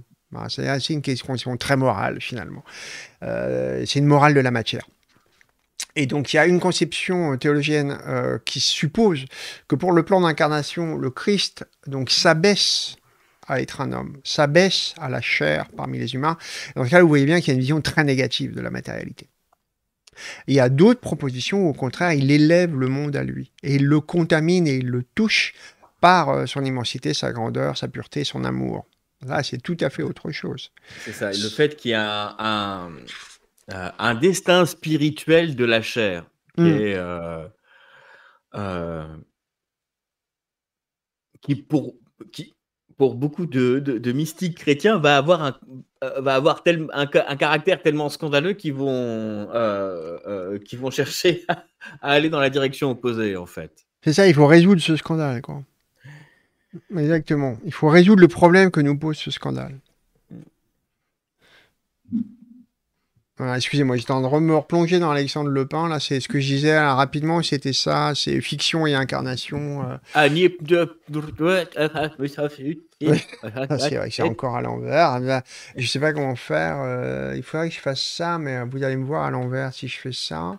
Euh, est-ce que je peux faire ça? Mais dans ce cas, ça va vous sembler un peu bizarre. c'est que j'aurais l'impression de, je vous donnerai l'impression de plus regarder Gabriel, mais ah si, ça va marcher. Donc voilà, hop, voilà. Voilà, ça marche un peu mieux pour vous. Très bien. Bon. Ça a l'air de fonctionner. J'avais peur d'avoir la tête tournée du mauvais côté. Euh, donc, on continue. Donc, sur cette image des trois pères Dieu, c'est assez joli. Mais c'est un, un motif assez, assez courant quand même, hein, dans l'idée qu'il puisse y avoir, euh, je dirais, des opérations et des objets euh, multiplement présents euh, dans, le, dans le corps. Euh, c'est aussi courant dans certaines thématiques juives ou, chrétiennes, enfin dans les textes, je veux dire. Voilà, qu'on peut parler par exemple de circoncision du cœur et circoncision du corps.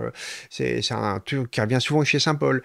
Il y a l'idée qu'il y ait plusieurs aspects, soit d'un même geste, soit d'un même organe, donc il y ait des yeux pour le corps, pour le cœur. Et et comment, et pour l'esprit, c'est une façon de penser, d'articuler euh, l'écriture et la composition intellectuelle, on pourrait dire une certaine typologie, qui est assez courante euh, dans la tradition. Euh. Alors.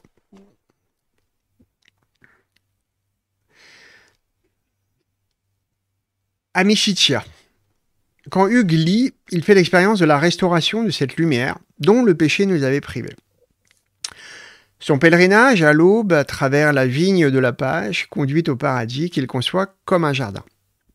Donc là aussi, hein, ça, je renvoie là pour le coup au live Jardin de la connaissance avec Gladys, qu'on n'a pas fini, on en fera d'autres, mais au Moyen Âge, clairement, l'idée du jardin comme modalité euh, de la connaissance et comme métaphore de celle-ci est extrêmement courante. Là, euh, je vous renvoie, euh, je sais pas, au, à Lambert de Saint-Omer, euh, à comment Hérald de Landsberg, Hildegarde de Bingen, toutes les propositions qui sont faites de traverser la pensée et de traverser l'écriture, c'est des jeux d'éclosion, de, de, construction qui renvoient directement au jardin, donc qui va aboutir dans la pensée juive, par exemple, au, au Pardès, autre, jardin, autre forme du jardin de la connaissance. Qui est héritière de tout ça. et ça prend des formes matérielles, c'est-à-dire que les, les jardins construits à l'intérieur des, espaces conventuels, dans, les couvents, sont des lieux de, promenade ou qui sont des lieux d'apprentissage aussi. Donc c'est quelque chose d'important de, cette, conception-là. Et elle va exploser à la Renaissance euh, pour le coup. Là, je vous renvoie à un bouquin assez passionnant pour la Renaissance, c'est celui-là. Voilà, un bouquin de Daniel Duport qui est là, hop, publié chez Drose. Le jardin et la nature, ordre et variété dans la littérature de la Renaissance. Bon, mais ça, on vous fera la deuxième partie avec, euh, avec Gladys bientôt et on tournera autour de, des figures plutôt de la Renaissance et, euh, du Moyen Âge, parce qu'on a fait surtout l'Antiquité jusque-là. Et on a peu parlé des jardins eux-mêmes comme configuration matérielle euh, pour parcours de connaissances. Parce qu'on a beaucoup digressé. Étonnant, non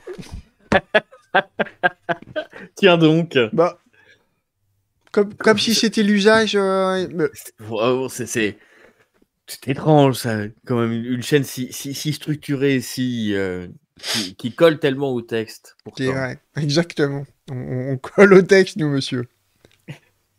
non, mais.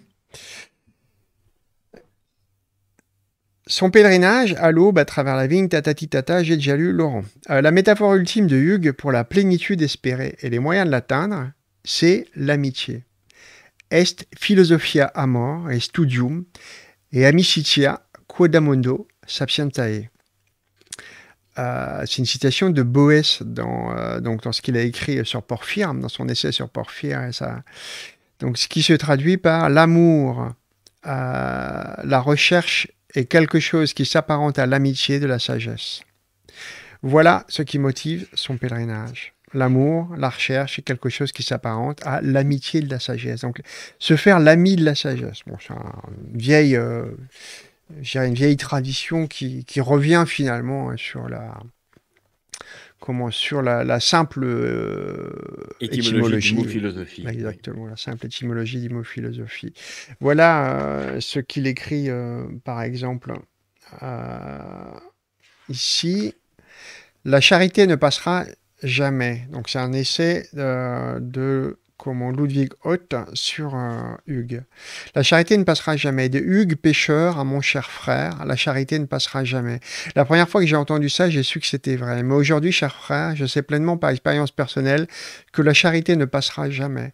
Car j'étais étranger, je vous ai rencontré dans un pays qui n'est pas le mien. Mais ce pays n'était pas vraiment étranger puisque j'y ai trouvé des amis. Je ne sais si j'ai d'abord donné mon amitié ou si je l'ai reçue. Mais j'ai trouvé là la charité et je l'ai aimée. Et je ne pouvais pas m'en lasser parce qu'elle m'était douce et mon cœur était plein et j'étais malheureux que mon cœur puisse en contenir si peu. Je ne pouvais pas tout prendre, mais j'en prenais tout ce que je pouvais.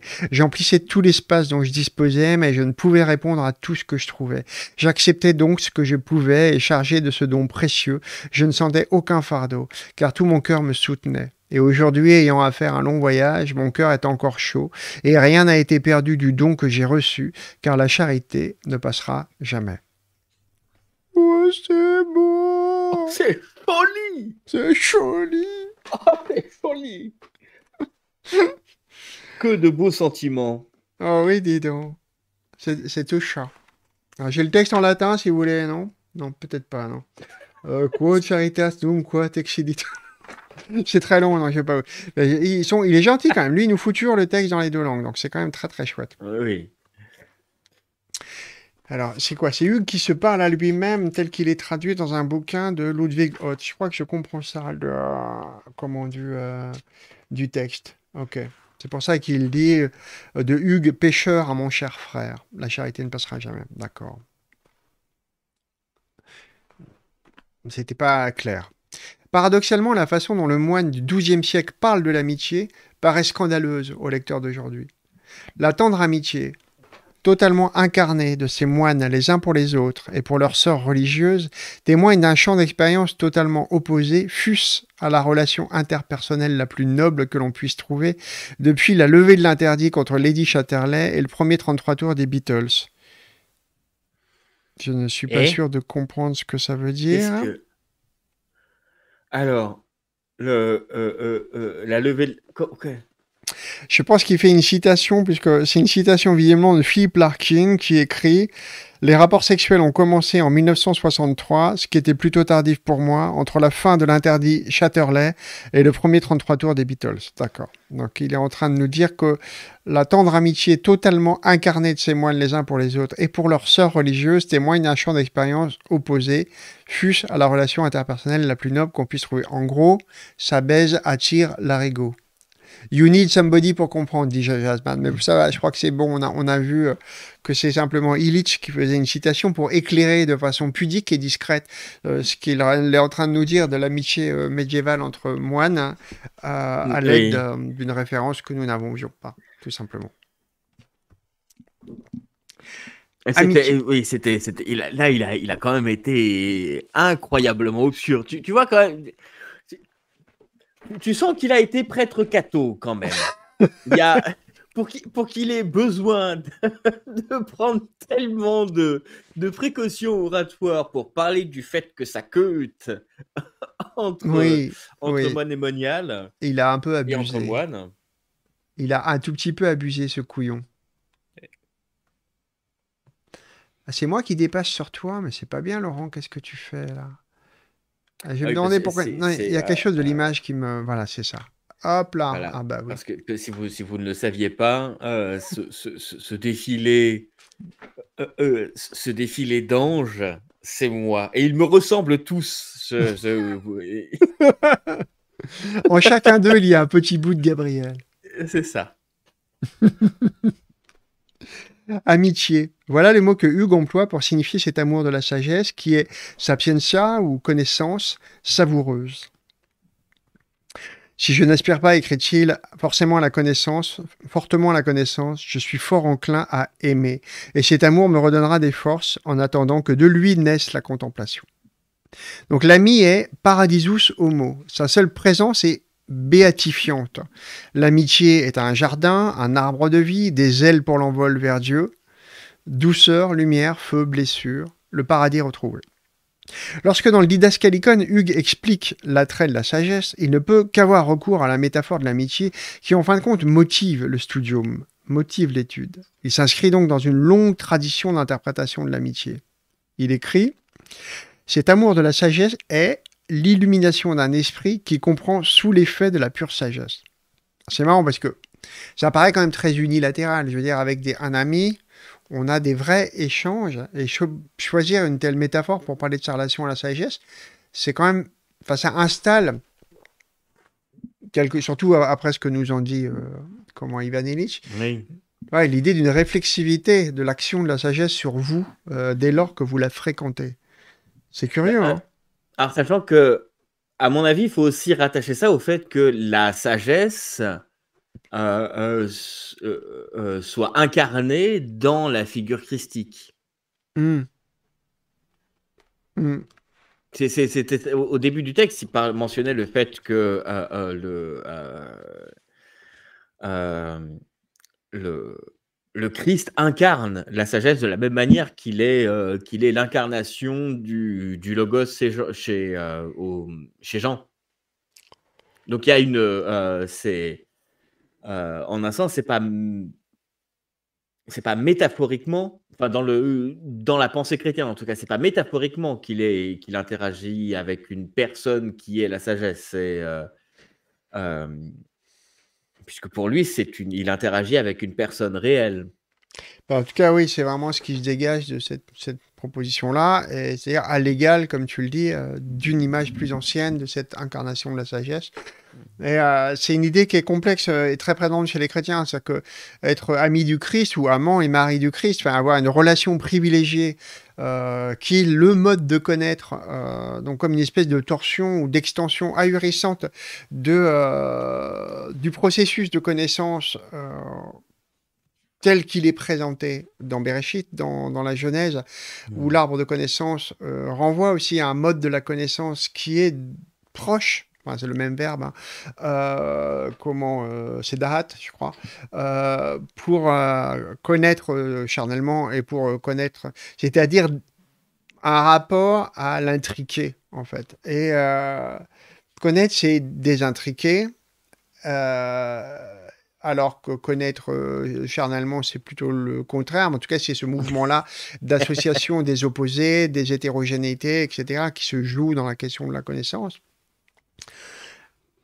Là, le caractère négatif euh, qu'a pu prendre dans ce geste originaire, euh, la torsion du connaître, et là est rétabli finalement pourtant dans une opération charnelle, hein, en proposant euh, la multiplicité des métaphores euh, amicales, euh, amoureuses, du, du, mystique, du théologien, du croyant tout court, hein, avec le Christ.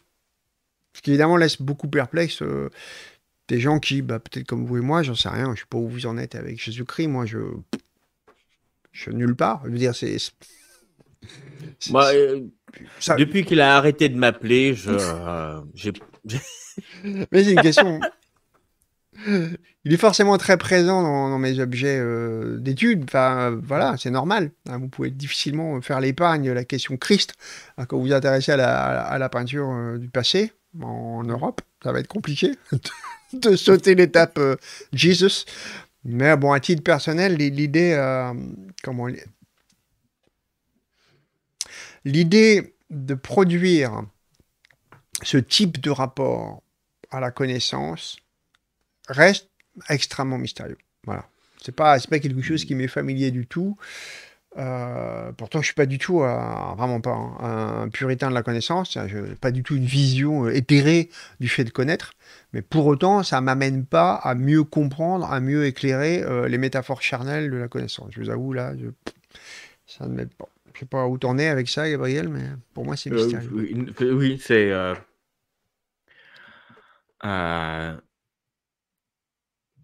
tout le problème de tout, tout, le, tout le problème de ces métaphores, c'est qu'elles supposent une euh, une réalité à la personne du Christ. Et dans la mesure où j'ai euh, euh, je ne vis pas dans un monde où la personne du Christ est réelle. Effectivement, ça, il me manque. je, je suppose qu'il me manque l'organe qui me qui permet de rendre ça appréhensible parce que euh, toutes ces métaphores reposent sur la réalité de cette personne, mais si, si cette personne n'est qu'une illusion, en fait, on est, on est, on est purement dans de. on est purement, littéralement dans de la masturbation intellectuelle, là. Alors moi, sais pas ce qui me pose le plus de problèmes. C'est non. c'est vraiment la, difficulté, tu vois, à, j'ai. C'est pas le fait de, l'incarnation du Christ lui-même, euh, même si j'y crois pas du tout, enfin, s'en fout complètement. Enfin, moi, je m'en. Non, c'est vraiment euh, l'idée qu'on gagne quelque chose à rendre euh, saisissable, intelligible les, la connaissance, tu vois, le, parcours de la connaissance, en euh, l'incarnant de façon aussi vive. Quand je dis vive, les gens, c'est vif. Hein. Enfin, les, mmh. la littérature chrétienne sur la connaissance charnelle du Christ, lécher ses plaies, enfin ce genre de choses, il y a, il y a des, des, des, des très très crus euh, description de la connaissance euh, du Christ, la connaissance charnelle du Christ pour les épouses du Christ. Euh, et on ne doit pas douter que ça n'arrache pas d'un seul coup. Enfin, c'est pas une transgression, si vous voulez, obscène.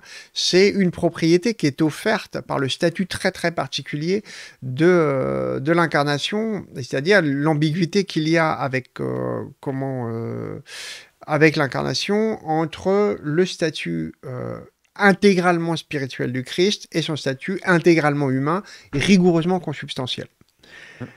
C'est de là-dessus que tout repose en fait. Euh, en dehors du fait effectivement euh, qu'on y croit ou pas, pour pénétrer cette métaphore, il faut arriver à toucher de près ou de loin l'extrême difficulté à laquelle nous accule cette étrange consubstantialité.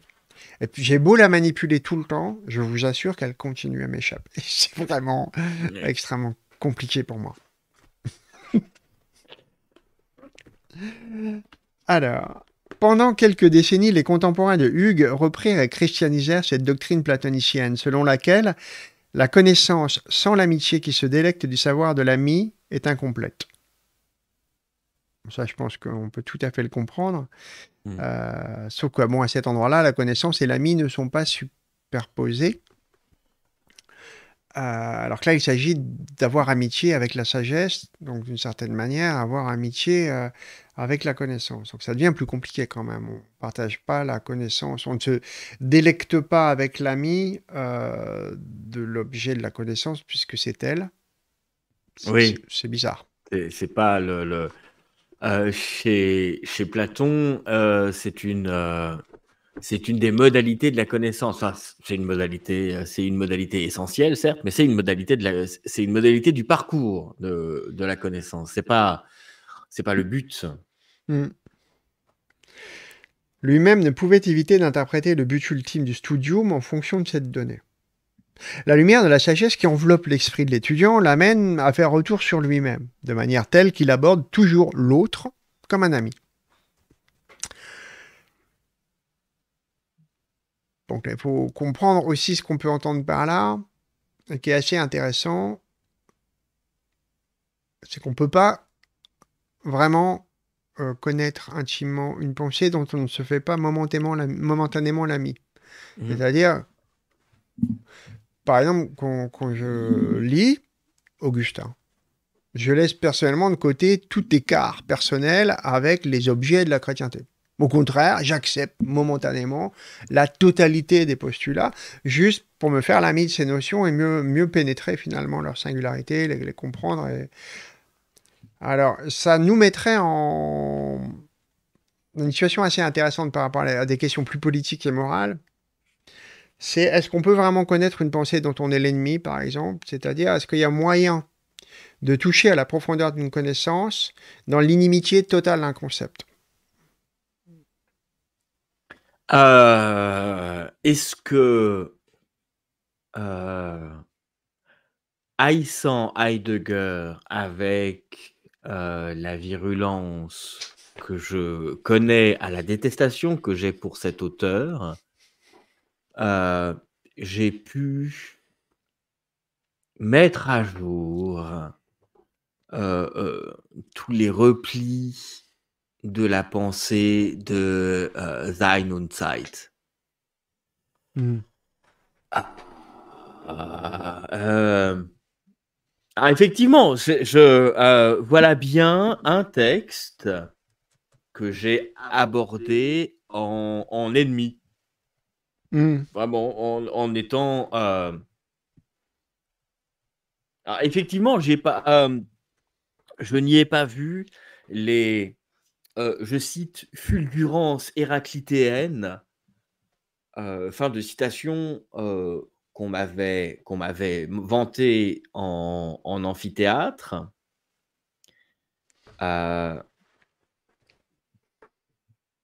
mais je, doute qu'elle y fussent. Ces fulgurances. Mmh. J'ai pas. Mmh, c'est, vu de l'intérieur, hein, mais j'ai pas l'impression d'être passé à côté. Euh, j'ai pas l'impression d'être passé à côté de la proposition de Heidegger euh, en l'ayant euh, en l'ayant aussi farouchement détesté que je l'ai fait. Mmh mais c'est l'exception parce que même en des textes comme dont, on a pu beaucoup rire, euh, et comme ceux de Hegel ou comme ceux de, ou comme ceux de Goodman, il y avait malgré tout l'effort à un moment de faire OK, de, de, quoi est-ce qu'ils partent? Hmm. euh. Oui, oui. Euh, mais est-ce que. Non, mais c'est vraiment une question complexe. Parce que pour commencer à pénétrer vraiment euh, toute la grandeur d'une idée, par exemple, il y a quasiment la nécessité de laisser en elle la place d'imposer ses règles. Et euh, ça veut dire aussi de nous acculer à ouvrir les d'une certaine subtilité, d'une certaine plasticité, d'une certaine euh, diversité qu'on ne peut pas accorder on ne fait pas preuve de générosité à l'égard de Goodman. Quand on lit Goodman tous les deux, on n'y arrive pas. Malgré tous nos efforts. La, limite de la générosité, c'est d'essayer de. Il euh, euh, y, a eu l'effort sincère de comprendre le texte. Oui, oui on ne peut pas nous enlever ça. prodigieux de l'avoir compris. C'était. ah, mais tu ah, admettras que c'est quand même. Tu vois, jusqu'où on peut aller avec un texte si on n'en est pas l'ami? Il y a hmm. forcément un endroit où on s'arrête plus vite qu'on ne le ferait avec un texte ami. Oui, c'est sûr. Hein. Oui, oui. Ah, il faut quand même s'en rendre un peu compte. bon, voilà. Mais après tout, on n'est pas obligé d'être le pote de tous les textes. Hein. Il n'y a pas de raison. Hein. pas parce que c'est écrit que c'est notre ami. Hein. Voilà. Euh, Yoon nous dit Bonsoir, ça me fait penser à la série Mrs. Davis où l'héroïne nonne a une relation amoureuse avec Jésus-Christ. Totalement barrée cette série d'ailleurs. Ben, les nonnes ont toujours une relation amoureuse avec Jésus-Christ. Elles en sont euh, littéralement les épouses. Les, les euh, textes de, de, Thérèse d'Avila, par exemple, le fait qu'on ait, qu'on ait canonisé qu'on ait canonisé cette femme à, quand, tu, quand tu lis la, la, la relation qu'elle a qu'elle a avec Jésus, mais c'est la relation qu'elle a avec Jésus, c'est mais les fesses en l'air et la tête dans l'oreille. Enfin, c'est vraiment... Thérèse, bouge-toi les oreilles. N'écoute pas ce que dit ce mécréant. Est-ce que c'est faux? Non, c'est pas faux. Et c'est, on peut pas enlever ça de la littérature mystique qui est profondément incarnée. Et ça fait étroitement un partie de la, réalité du plan euh, de spiritualité chrétien. Donc ça, on peut pas du tout tenir la distance avec ça, et c'est très présent. Alors c'est plus présent à certaines périodes qu'à d'autres, c'est très présent euh, euh, plus tardivement qu'au Moyen Âge. Mais bon, il y a des textes hein, euh, médiévaux, il y a des textes du 14e, du 15e, où vous allez voir des, gestes qui peuvent vous sembler extrêmement étonnants, comme lécher littéralement avec, sa langue le, le, pourtour de la plaie du Christ. Enfin, ce sont des, choses que vous pouvez trouver là. là encore, j'ai la tête pleine de trous, mais ce n'est pas du tout une rareté. Et dans la pensée, dans les textes de la période jésuitique, là, ça explose quand même. Euh, il y a vraiment une, incarnation très forte quand même euh, de, des mouvements de la foi.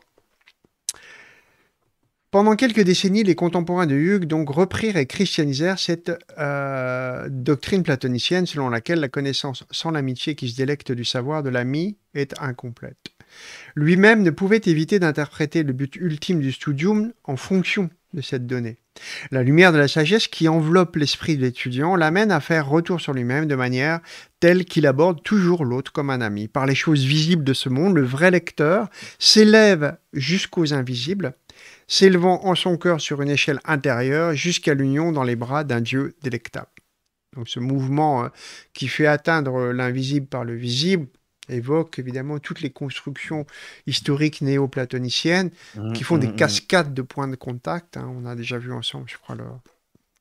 les propositions oh, qui sont euh, qui sont déjà présentes dans le banquet de Platon. Oui. Aussi. Oui, qui, bah, oui, c'est ce que les, ouais, les néoplatoniciens vont, emprunter à Platon. C'est cette configuration-là, cette structure qui part de l'un. Chez Plotin, ça va devenir ce qu'on va appeler la procession euh, plotinienne. Et puis ça va servir de matrice ensuite à Porphyre, à Boès, effectivement, à, toute une chaîne de construction comme ça, euh, dans laquelle euh, des genres et des espèces, les spéciés, doivent quelque chose à l'espèce au-dessus d'elle pour exister. Évidemment, tout ça, pas à pas, nous élève pour dans cette mystique néoplatonicienne jusqu'à un point qui doit pouvoir nous faire toucher hein, à, à l'endroit où il n'y a plus rien à toucher, en fait. À la pure spiritualité, quoi. Toucher les invisibles, en fait. Alors, si tu as une tête pleine de trous, c'est passer à une personnalité physique et mentale. Bon, tu l'as déjà fait tout à l'heure, Sus. Plutôt master, nous y Si t'as dépensé nauséabonde, ben voilà, si vous y mettez à plusieurs, on n'est pas sorti de la merde. Ordre, mémoire et histoire, ne jamais rien mépriser. Ah, ça, c'est un, des aspects les plus chouettes, hmm. les plus jolis de la pensée de. Oui, tu en avais parlé la semaine dernière, le fait que. Voilà, Dès lors que vous avez votre content, bah, vous comprenez bien qu'il y a une certaine justification du coup spirituelle à ça, si vous entendez ce dont nous parlons à l'instant, hein, des choses qui vous élèvent depuis le visible jusqu'aux invisibles. Euh, en fait, tout est un marchepied pour la connaissance, quoi que ce soit. Enfin, l'image du marchepied est un peu désagréable. Euh, trouver une image plus belle, plus douce, plus jolie que le marchepied. Un prix Dieu?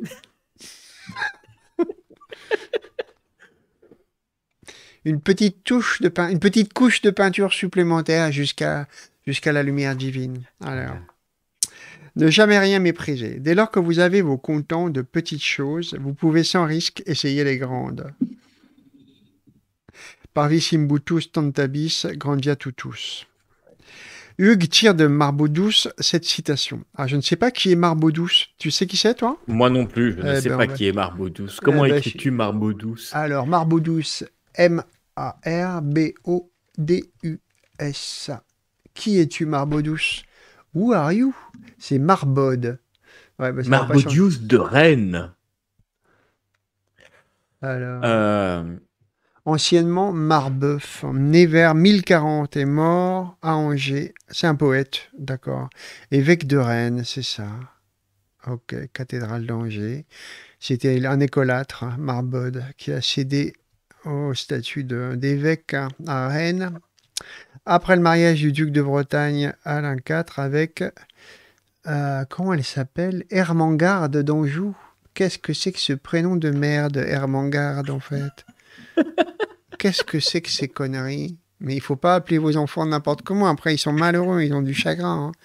Quelle peut être la destinée d'une pauvre femme appelée Hermangarde Oh là là là là, c'est pas bien de faire ça. Donc d'accord, Marbodous était un évêque et euh, visiblement aussi poète. Et euh, plusieurs de ses poèmes parlent euh, de, beaux garçons et des désirs homoérotiques qu'il a vis-à-vis d'eux. Non, d'accord. Mhm. Ok. Il a écrit un lapidaire, son lapidarius, ouvrage didactique sur les propriétés des minéraux. Ok. Le cristal et de la glace durci pendant de nombreuses années. Pas du tout. Je suis pas d'avoir un petit avis sur un truc. Hein. Oh là là là là pour écrire. Non mais vraiment, marbeau douce. Oui, je te pardonne. Je te pardonne parce que tu es du 12e siècle. Mais des fois, il faut, faut arrêter de parler à tort et à travers. Écoute, franchement. Hein. Bon, voilà. c'est lui qui écrit dès lors que vous avez votre content de petites choses, vous pouvez sans risque essayer les grandes. Eh bah, ça commence bien. Bah, on voit, on voit tout de hein suite très bien quelle est la métaphore homo-érotique qui s'est glissé là-dedans. Ah oui, c'est ça, ouais. Mhm. Alors, si Marbeau décrit des poèmes homo-érotiques, il n'existe pas de preuve qu'il ait lui-même eu des relations homosexuelles. oh, c'est oh, mignon On n'a pas de preuve. Oh, c'est mignon Qu'est-ce que... Qu'est-ce que... Qu'est-ce Oh. Cependant, il était notoirement proche d'autres hommes connus pour avoir écrit des poèmes parlant d'homosexualité. Mais D'accord. Oui, alors c'est bien, c'est bien l'attitude. Euh, l'attitude, c'est ça. C'est Sappho. Sappho n'a eu que des copines en fait. Bon. Ok. Donc on avait la chance d'avoir une icône game et la Wikipédia veut pas. Bon. ça n'a pas été filmé dessus, effectivement. C'est ça. Donc... les, les, tâches, euh, les tâches sur les draps ont, ont été perdues, du coup, euh, aucune preuve. Ça veut dire que Hugues lisait Marbeau douce On n'a pas de preuves non plus. Mais... Non, non, non. Hugues tire, de... Hugues tire de Marbaudou cette citation pour introduire l'un des deux seuls passages dans toute son œuvre où il nous livre quelque chose de sa jeunesse. Dans ce fragment d'autobiographie, il se laisse parfois aller jusqu'à la quasi-confidence. On en revient, on parlait tout à l'heure, euh, Gabriel évoquait le genre autobiographique mmh. avec Augustin, donc euh, longtemps, longtemps, longtemps avant. Hein. Augustin, c'est 5e, 6e, donc c'est pas tout jeune. Mais c'est vrai que c'est un côté liminaire. Euh, on lance quelque chose dans l'histoire de l'écriture euh, euh, chrétienne, et c'est vrai que c'est un geste autobiographique fort à ce moment-là. Et donc, ça se poursuit là. Voilà ce qu'il dit. J'ose t'affirmer que je n'ai jamais rien méprisé qui fut en rapport avec l'instruction, mais qu'au contraire, j'ai souvent appris beaucoup de choses que les autres tenaient pour une plaisanterie ou une stupidité. Je me souviens que lorsque j'étais encore écolier, je m'évertuais à connaître le nom de tout ce qui me tombait sous les yeux ou dans les mains, persuadé qu'un homme ne peut connaître la nature des choses dont il ignore le nom. Maintes fois, par jour, je reconnaissais ma dette envers ces petits bouts de savoir, ces miettes de connaissances, sophismata, que grâce à leur concision, j'avais pu noter en un ou deux mots sur une feuille de manière à tenir un compte soigneux des solutions et même du nombre de pratiquement toutes les idées, questions et objections que j'avais apprises. Je proposais souvent des débats, et lorsque j'avais bien mis en place les arguments opposés, je discernais avec soin ce qui serait l'affaire du rhéteur, de l'orateur, du sophiste. Bon, ben, ça, il, se prépare très très bien, euh, je dirais, aux études scolastiques, puisque hmm. cet art extrêmement puissant et extrêmement savant de la contradiction, c'est vraiment l'essentiel de la formation des jeunes intellectuels dans les universités à, ce moment-là. Il y a ce qu'on appelle les quadlibets, il y a vraiment toute une, une écriture assez comment euh, assez savante de euh, alors ça peut se faire in parviso ou pas. Enfin ça peut se faire sur le en extérieur ou en intérieur. Vous devez acquérir le droit de proposer un sujet euh, de, discussion. Donc c'est au bout de dizaines d'années d'études vous pouvez proposer votre propre sujet. Vous partagez à toutes sortes de disputes disputatio sur des sujets. Et effectivement vous devez être capable d'apporter arguments et contre-arguments euh, une des raisons pour lesquelles on s'est beaucoup moqué euh, de cet enseignement, c'est qu'on pouvait y disputer tout et son contraire, à la manière des sophistes en fait. Oui, oui, euh, un, des, exercices de rhétorique que se donnaient les sophistes, c'était de faire, par exemple, l'éloge, l'éloge l'éloge d'objets anodins. Donc on a, on un éloge du sel de, Polos, par exemple, dont dont Platon évidemment se moque beaucoup, euh, mais euh, le but, c'était de, c'était d'apprendre à manier les outils de la rhétorique euh, sur une, quasiment sur une forme vide en fait, manipuler les outils vraiment en eux-mêmes. Mmh. Et c'est bah, c'est une question qui est vraiment assez importante, hein, le, caractère rhéteur de la pensée euh, scolastique. Donc, qui peut vous sembler troublant, mais euh, une des idées euh, maîtresses, par exemple, de, de Cicéron quand il critique Socrate ou enfin quand il critique Platon, quand il critique ce type de pensée, pour lui, c'est que on ne doit développer des formes de pensée que dans le sens où elles ont un effet immédiat sur le monde. Ça peut vous sembler assez tordu parce que ça veut dire que la valeur d'expression et de persuasion de ce que vous affirmez est supérieure à leur valeur de vérité. Pour peu que ça ait des effets. Vous voyez, c'est un côté qui vous semble sûrement désastreux, puisque ça veut dire que votre capacité à persuader par des conneries euh, l'emporte largement sur le fait de vous convaincre. Mais ça veut dire euh, qu'il y a une prise en compte euh, assez considérable, en fait, que, et ça, je crois que c'est vraiment un truc qui échappe dans le rejet qu'on fait de, la sophistique, c'est que toutes les philosophies sont au fond des philosophies du langage. Que si on ne comprend pas à quel point il y a toujours un socle, mais fondamental, d'une construction d'un rapport de langue et d'un rapport à la langue, et d'une pensée particulière et même d'une métaphysique de la langue qui se niche en toute philosophie, on finit par croire que ce dont elle parle, ce sont des objets eux-mêmes, alors que c'est tout le temps mais ça depuis toujours, hein, depuis les premières propositions philosophiques antiques, les relations que les humains entretiennent dans leur capacité à décrire le monde, c'est-à-dire à le dire. Quoi. Il ne s'agit que de ça. Donc c'est vraiment important. Alors Jasman dit il y a quand même une différence entre sophistique et rhétorique. Euh, bah, la rhétorique, bah, c'est juste la technique de la sophistique. c'est la seule différence. Euh, oui, il y a, une différence de fait, mais sauf que y a de la même manière qu'il y a une différence entre les, entre les voitures et les pommes. C'est euh, la rhétorique, c'est l'art du discours, c'est euh, la, technique du discours. Euh, je t'avoue que la, la sophistique, par contre, je vois pas vraiment ce que c'est, parce qu'il n'y a pas de, il y a eu des sophistes que, que Platon a à unifier en, en, figure de, de l'ennemi de la pensée, mais euh, la, la, sophistique use beaucoup de paralogisme. Ah, donc bah là, oui, tu es complètement dans le cadre, euh, dans le cadre platonicien, en fait. Mais le paralogisme est une figure de rhétorique, donc euh, de quoi on parle, tu vois? Donc oui, Jasmine, mais alors, chez Aristote, il y a les réfutations sophistiques et la rhétorique. Euh, chez Aristote, les réfutations sophistiques Alors là, j'avoue que ça m'échappe. Gabriel, tu m'éclaircis sur les réfutations sophistiques chez Aristote? Là, je, euh, je, je vois pas en fait. Donc, euh, je, vois parce que je, alors, je vois la rhétorique comme un des. Euh, il me semble que c'est le. Il me semble même que la rhétorique fait, partie de l'organon. C'est le dernier livre de l'organon de d'Aristote. Ouais.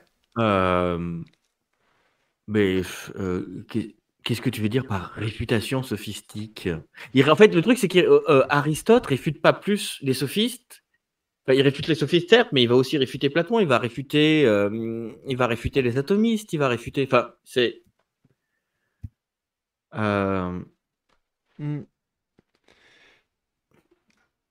Alors, Là, je ne vois pas. Je vois pas trop, ouais. Mais on fait une différence entre sophistique et rhétorique, la question ne se pose pas, tu vois. Euh, euh, au sens où euh, c'est comme si tu disais, il y a quand même une différence entre dialectique et égalianisme. mais dialectique, c'est juste une méthode. Enfin, donc oui, il y, a, forcément une différence, mais la dialectique sert ailleurs, dans le marxisme. Ou, enfin, tu vois, une fois que la dialectique est posée, c'est juste une technique. c'est une proposition technique. L'égalianisme, c'est la philosophie des gueules. De la même manière, si tu me parles de sophistique, ça dépend de qui on parle, de quel sophiste on va parler. Et là, tu vois bien, par exemple, que chez Hugues de Saint-Victor. Et finalement, euh, d'une manière générale, dans euh, ce, qui se, passe à l'intérieur des, euh, disputes dans les universités françaises au, 12e, au 11e, le rejet de la sophistique, c'est pas une évidence en tout cas, puisqu'on y pratique volontiers avec l'arme rhétorique la capacité en fait à mieux comprendre un objet en comprenant aussi son contraire. Tu vois?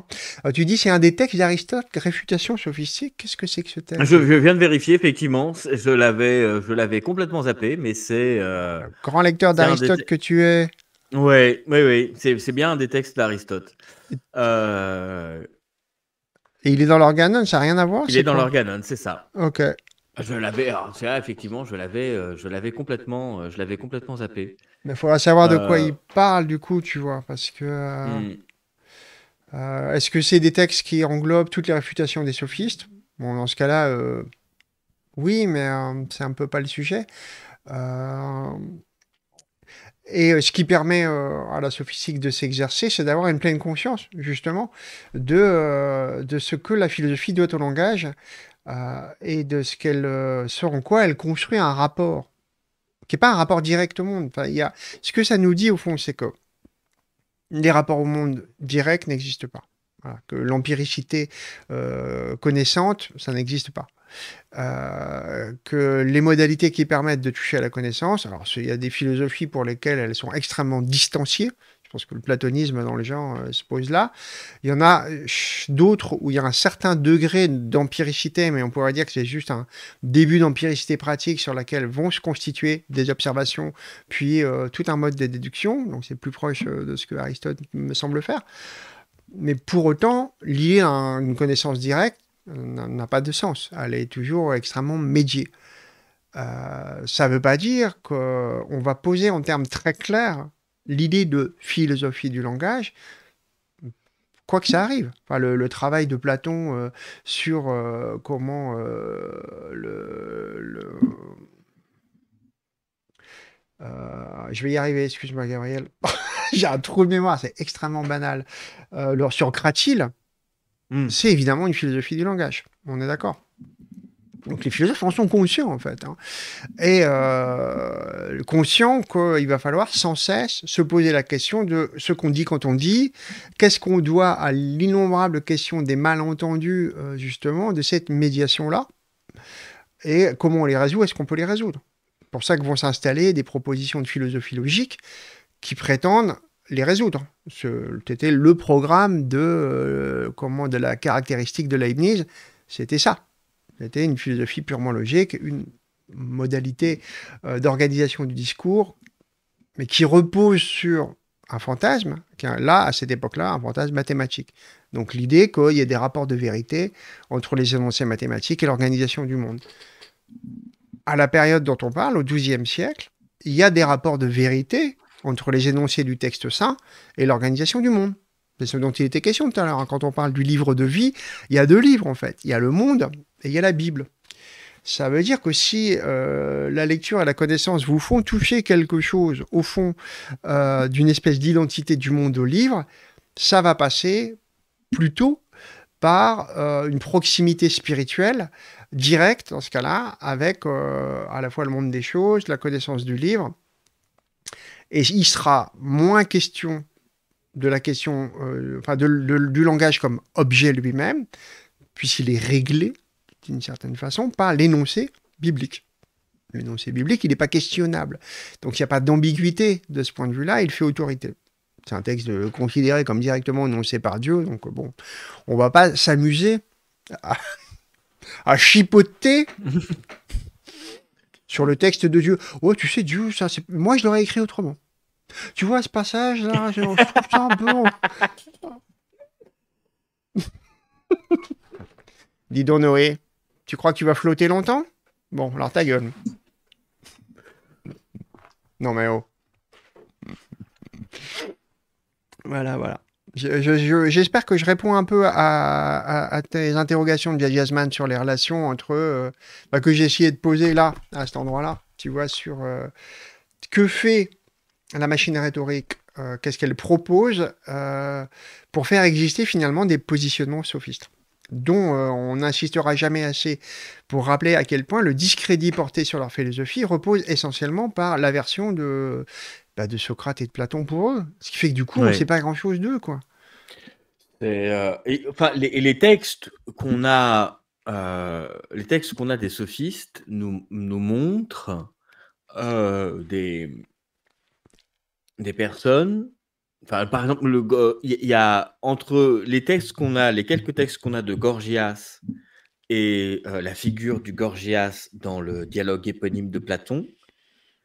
Euh, Gorgias, dans le dialogue de Platon, est présenté comme euh, un bonhomme un peu, un, peu mou du bulbe.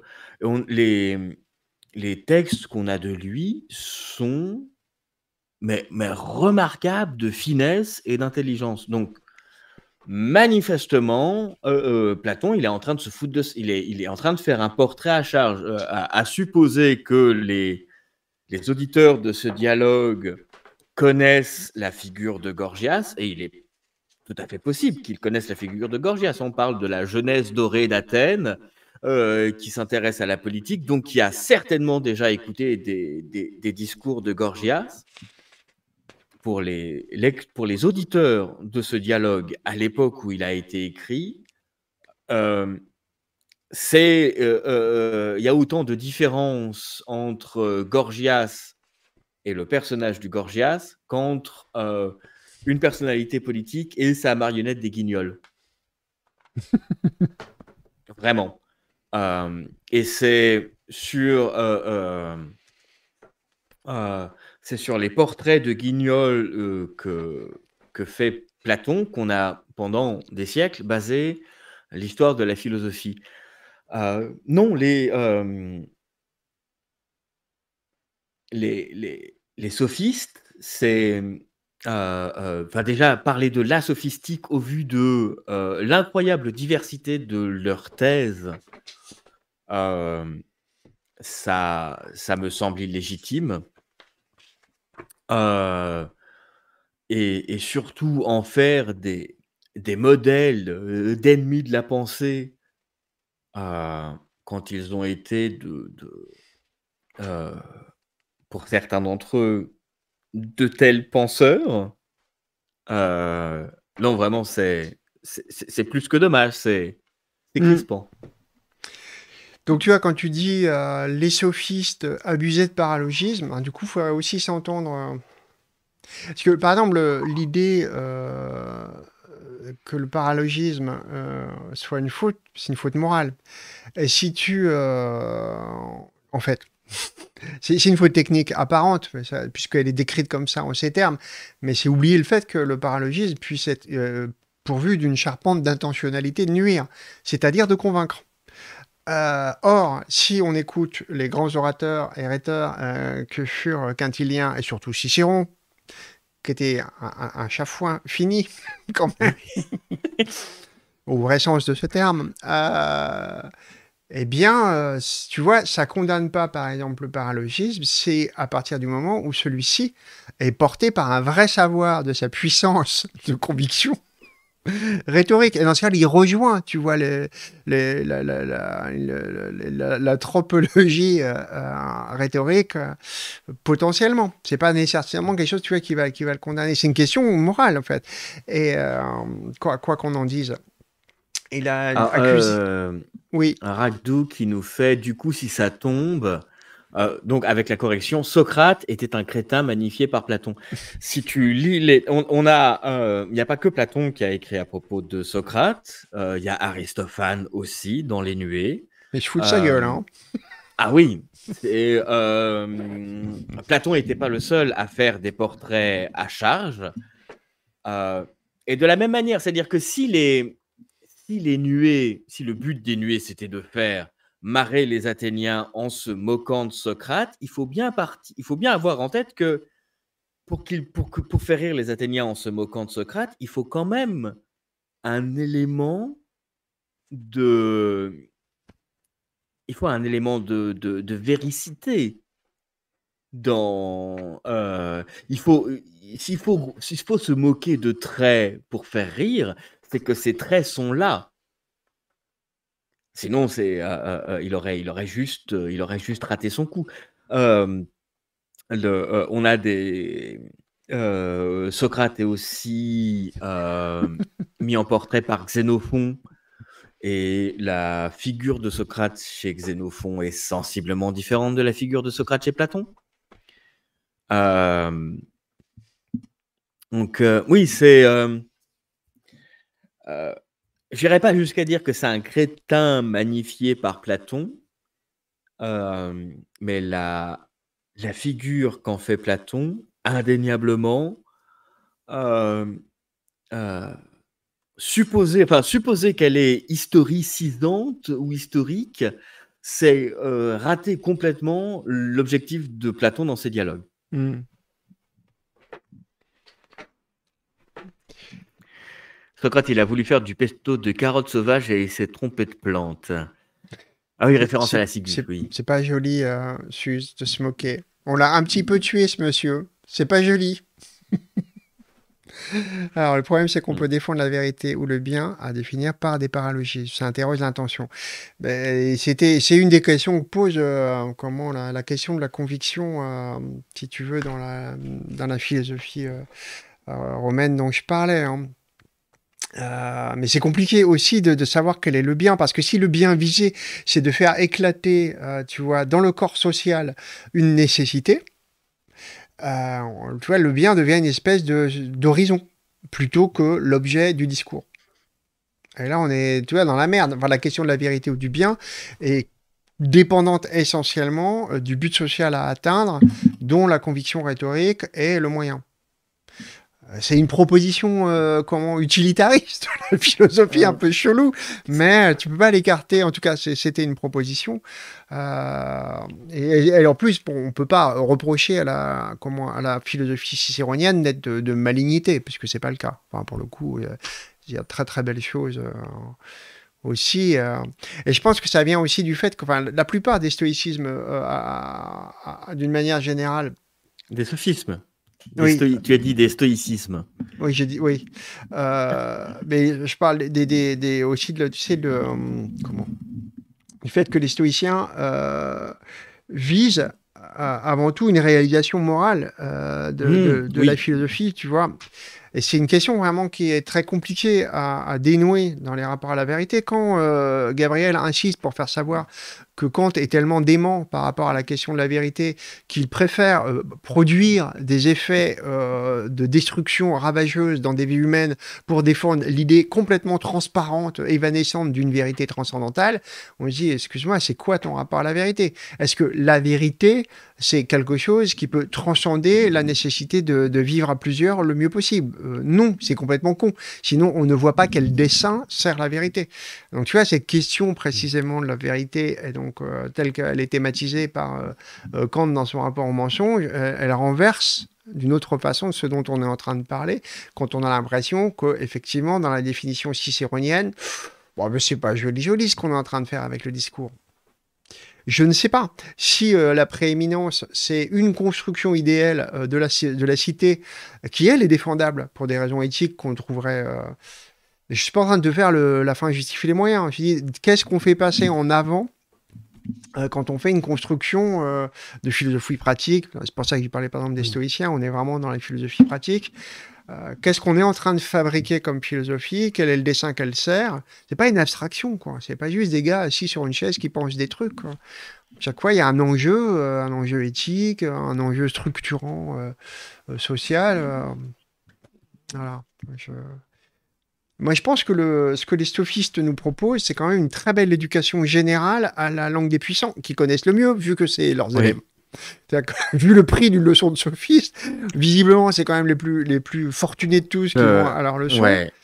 On a euh, Protagoras, euh, une, de ses, une de ses fiertés, c'était que c'était ses étudiants qui décidaient combien ils allaient le payer. Donc, certains des étudiants, certains de ces étudiants le payait une obole. Donc l'obole, c'est euh, la plus petite unité monétaire euh, euh, qui, circulait à Athènes. certains élèves le payaient un talent. Un talent, c'est un an de salaire d'un ouvrier agricole à l'époque. Donc, effectivement, il peut avoir il peut avoir une vingtaine d'élèves qui le payent une obole. Il suffit qu'il ait un ou deux, euh, euh, un, ou deux membres de la jeunesse dorée d'Athènes qui lui payent un talent le cours et il est. Euh, il, a, il, a, il a plus à s'inquiéter pour ses factures de gaz. on peut statuer un truc par rapport à ça. c'est que les sophistes ont une grande familiarité de la langue des puissants et nul doute que si euh, on pense qu'une philosophie euh, passe par euh, toujours par un socle de philosophie du langage, on ne peut pas écarter non plus euh, que son articulation à une, morale, même si c'est pas une philosophie morale qu'on a, à laquelle on a affaire, il y a toujours une morale des objets euh, qui s'y diffuse, eh ben, elle va articuler les deux à un moment euh, donné. Ça veut dire que connaître le langage par lequel s'exerce l'autorité et le pouvoir, mais c'est complètement fondamental aussi en, comme, euh, comme proposition philosophique. Donc même si ça semble complètement euh, à côté, on dit mais à quoi ça sert cette aptitude, mais c'est aussi une question d'emprise sur le monde qui peut aussi se dégager de, euh, ben, par exemple, dans les faux discours, de savoir les repérer, dans les arguments complètement foireux, de savoir comment ils sont construits. Certes, on n'a pas l'impression qu'une leçon de sophistique, eh ben, ça va vous conduire à un endroit où euh, vous allez, euh, comme dans une philosophie stoïcienne, apprendre à mieux affronter euh, votre angoisse de la mort, votre compréhension de, l'organisation. Enfin, qu'est-ce que c'est que, la vie collective et comment on va l'organiser ensemble ça, semble décoder, enfin décoller de tout ça, mais ça ne l'est pas ça l'est pas parce que je pense hein, que si, par exemple, à l'école aujourd'hui, on a accepté l'idée qu'il n'y a qu'une chose à en tirer, c'est apprendre à reconnaître le langage des puissants et à s'en méfier comme de la peste, à savoir ne pas se laisser intimider par lui et savoir le démonter. En gros, savoir parler la langue des bourgeois et la désosser, eh ben, ça suffirait. Tout le reste, les maths, la géo, tout ça, bon, on verra après. Mais euh, je dis que si l'école sert à un truc, c'est qu'à ça. Si ça sert à ça, ça c'est vraiment pas inutile. Ça pourrait, on pourrait voir dans le projet scolaire, dans le projet pédagogique, un véritable intérêt. Mais je, moi, j'entends ça dans, le, dans le, les propositions sophistiques, c'est garder l'œil toujours ouvert sur le caractère profondément langagé d'une proposition philosophique et sur le caractère profondément euh, de, euh, des dispositifs d'autorité sur toute chose. Voilà. Ça me semble pas con. Euh, donc moi j'aurais tendance à, voir les sophistes avec plutôt une certaine sympathie. Pareillement, oui. Voilà. Alors, Sus dit en vrai, quand on fait des prix libres, les pauvres donnent plus que les riches. Bah, c'est normal. Quand tu connais un problème, tu sais comment on le résout. Voilà. Alors, où j'en étais? On continue avec le, petit texte qu'avait écrit Hugues euh, sur son apprentissage, euh, où il veut tout apprendre. Pour les chiffres, je disposais de cailloux. J'écrivais sur le dallage avec des charbons de bois et le modèle étant sous mes yeux, je pouvais démontrer clairement la différence entre les triangles obtusangles, rectangles, acutangles. Pour savoir si un parallélogramme équilatéral occupait la même surface qu'un carré quand on le multipliait l'un par l'autre d'un deux de ses côtés, j'arpentais les deux figures en les mesurant avec mes pieds. Les nuits d'hiver, souvent, je veillais dehors comme l'une de ces étoiles fixes par lesquelles nous mesurons le temps. Souvent, aussi. J'emportais mon instrument. Alors, les étoiles fixes, hein, c'est la dernière sphère de l'organisation cosmique dans la représentation. je ne sais pas si c'est euh, mhm. si c'est Ptolémée euh, qui est à l'origine de cette euh, construction. on l'appelle on l'appelle le modèle on l'appelle le modèle ptolémaïque. Ouais. c'est le gros bateau. Mais c'est le, c'est le modèle, c'est le modèle de l'époque. Je, ne sais même pas pourquoi on l'appelle le modèle ptolémaïque, mais je ne pense pas que ce soit Ptolémée qui l'ait, euh, mmh, inventé. Il l'a peut-être à un moment formalisé, mais. Euh, on avait évoqué un peu ça, tous les systèmes cosmiques, quand on avait parlé euh, de Warburg et du zodiaque, mais là j'ai un petit trou de mémoire. En tout cas, les fixes, c'est supposément les constellations censées être fixées au ciel. C'est une sphère, imaginez une immense sphère cristalline où seraient fixées les étoiles, le ciel des fixes. Voilà, c'est ça dont Et qui est la dernière, euh, la dernière sphère avant. Euh, avant le rien. Voilà, c'est ça. Le rien. Salut Ryu. Le rien. Le néant. Le néant. Souvent aussi, j'ai emporté mon instrument, cordes arithmétiquement tendues sur le cadre de bois, à la fois pour noter par l'oreille la différence entre les sons et pour régaler mon âme de la douceur de la musique. Donc l'instrument de musique comme euh, instrument de mesure des écarts, donc ça c'est un grand classique hein, de l'héritage mmh. antique aussi.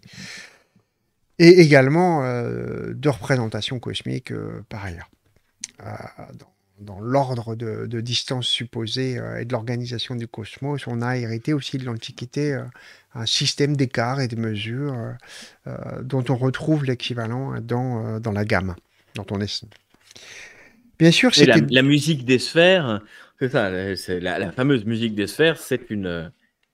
C'est que chaque sphère, en tournant sur elle-même, produit une note et le, le rapport de distance entre les différentes sphères c'est le rapport de distance euh, euh, qu'il y a entre les notes euh, de la gamme. C'est bien ça. Hein tons. ouais, ouais. Entre les sept tons de la gamme. Alors, bien sûr, c'était des gamineries, mais non sans utilité pour moi, et quand j'y songe aujourd'hui, elles ne me pèsent pas sur l'estomac. Je ne te raconte pas tout cela pour faire étalage de mon savoir, qui n'est rien du tout, ou bien peu de choses, mais pour te montrer que l'homme qui avance pas à pas, est celui qui avance le mieux, à la différence de ceux qui culbutent pour avoir voulu faire un grand bond en avant. Oh, la critique de Mao, là. Ah,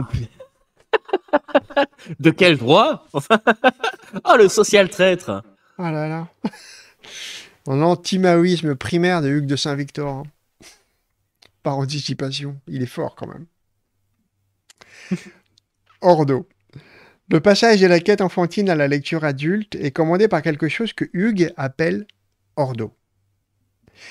Et de nombreuses occasions, en de nombreuses occasions, pardon, Hugues souligne l'importance pour le lecteur d'avancer avec ordre, ordinate, procédere debet, ou encore de progresser d'une démarche harmonieuse. Hugues ne crée pas, il suit, observe, scrute l'ordre des choses. Alors ça veut dire quoi pour lui ordonner?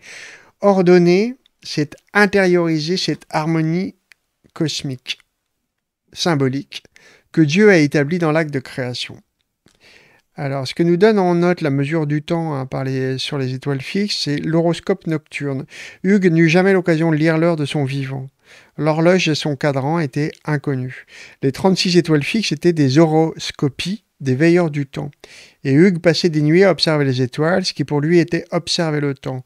Sur la signification symbolique de l'observation des étoiles, pour les théologiens du XIIe, voire Marina, bon là c'est la, la biblio, donc je, vais, je vous passe ça. Donc ordonner, c'est intérioriser cette harmonie cosmique et symbolique que Dieu a établie dans l'acte de création. Ordonner ne signifie ni organiser, ni systématiser la connaissance selon des catégories préconçues, ni la gérer. pour autant, il y a quand même une organisation des connaissances à l'époque. Et je vous ai déjà dit qu'elle était elle-même un septénaire, pour le coup. Donc, euh, ça serait pas si compliqué, surtout en étant Hugues de Saint-Victor qui aimait tellement jongler avec les septénaires. Tu vois, de, superposer le trivium et le quadrivium aux planètes, à la gamme, etc. Mais bon, visiblement pas. Ordonner ne signifie ni organiser ni systématiser la connaissance selon des catégories préconçues, ni la gérer. C'est intérioriser donc cette harmonie cosmique. L'ordre du lecteur ne s'impose pas à l'histoire, c'est l'histoire qui introduit le lecteur dans son ordre à elle. La quête de la sagesse est une quête des symboles de l'ordre que nous rencontrons dans la page. Poète et mystique privilégie le motif de la chasse. Le pèlerin est sans cesse confronté à des carrefours. Donc là, il vous donne un des exemples extrêmement courants de, motifs qui, euh, qui finalement composent une organisation euh, à la fois du texte et de la connaissance que le texte soutient. La chasse, une métaphore tout à fait euh, imaginable de la, quête, de la poursuite d'un objet, mmh. De, de l'assouvissement hein, de, cette course. Et le carrefour, bah, on ne peut pas rêver, je dirais, euh, objet organisateur plus chrétien, puisqu'il forme une croix, qui est clairement l'objet qui sert à tout, à tout organiser dans la pensée chrétienne, euh, pour par plein de points. Euh, donc ça peut être euh, évidemment euh, l'organisation des plans de rencontre. c'est sûr que ça compte énormément pour les chrétiens. Mais également pour distribution euh, par exemple, quand on parle des vertus cardinales, qui sont quatre, c'est vraiment les vertus qui vont organiser la vie du chrétien. Euh, donc on pourrait euh, rabattre sur la vraie organisation géographique du monde. Pareil pour les quatre fleuves du paradis, etc. Donc c'est le carrefour, hein, c'est vraiment le lieu de rencontre où quelque chose va intercepter votre course et faire une proposition. Par exemple, dans la légende des trois vifs et des trois morts racontée, donc on n'est pas tout à fait la même période, je crois que la première occurrence c'est Baudouin de Condé, donc au XIIIe, euh, l'endroit où les trois vifs rencontrent les trois morts, c'est un carrefour. C'est vraiment un endroit euh, important de la rencontre avec un événement. Il est en quête de symboles qu'il doit reconnaître et découvrir en trouvant sa juste place au sein de leur ordo. Gerhard Ladner, dont je suis l'élève reconnaissant, a attiré notre attention à la fois sur la continuité, sur la rupture, dans la signification du symbole au cours du XIIe. Alors, Gerhard Ladner, moi, je ne sais pas qui c'est les gens. Donc là, euh, eh, je vais aller chercher. Alors, je. Qui es-tu? Gerhard Ladner.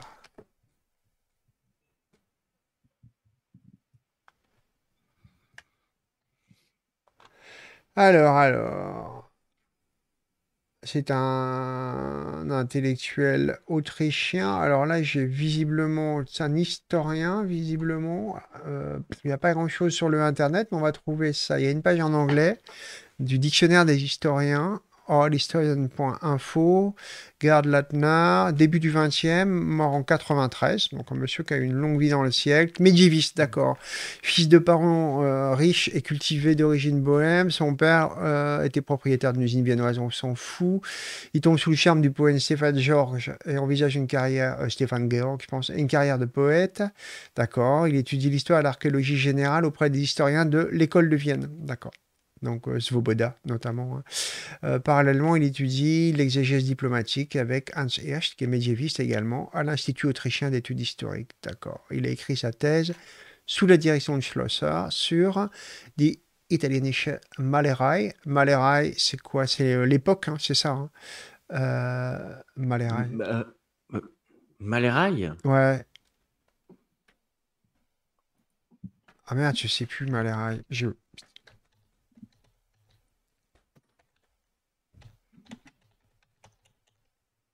Excusez-moi. C'est peinture. Ah, d'accord. Euh, dit italieniche. Donc la peinture italienne au XIe siècle? Non. Mais comment peut-il la connaître? Accepté pour son doctorat en 1930 et publié en 1931, euh, converti des juifs non pratiquants au catholicisme romain. D'accord, d'accord. Donc, euh, recherche sur l'iconographie des portraits pontificaux au Moyen-Âge. Ok. Alors, il a écrit sur la Geschichte, donc histoire euh, des idées. Euh, ok. L'iconographie des papes médiévaux, l'idée de réforme au Moyen Âge, le speculum. Donc, remarquez pour son interdisciplinarité. je voulais en savoir plus, je vous mets euh, dans le chat l'adresse du bisul. Voilà. Hein, parce qu'on va pas non plus passer la nuit. Donc on, apprend au passage que c'était euh, un gars qui a formé notre ami Ivan Illich. Hmm. Alors que dit-il sur la signification du symbole au cours du XIIe C'était l'un des traits de caractère fondamentaux des premiers chrétiens et des mentalités médiévales que de ne tenir nullement la fonction signifiante, symbolisante et allégorisante pour arbitraire ou subjective.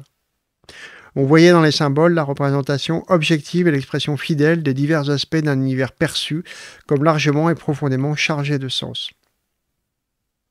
Alors bon, évidemment, c'est des choses qui bougent à mesure que s'affirme hein, l'idée, euh, l'idée d'un dispositif légal naturel, l'idée de loi naturelle. Évidemment euh, que la, l'affirmation d'une espèce de réalité euh, signifiante du, symbole euh, qui suppose quand même une irrégularité de celui-ci apparaissant à, certains moments, enfin comme une espèce de...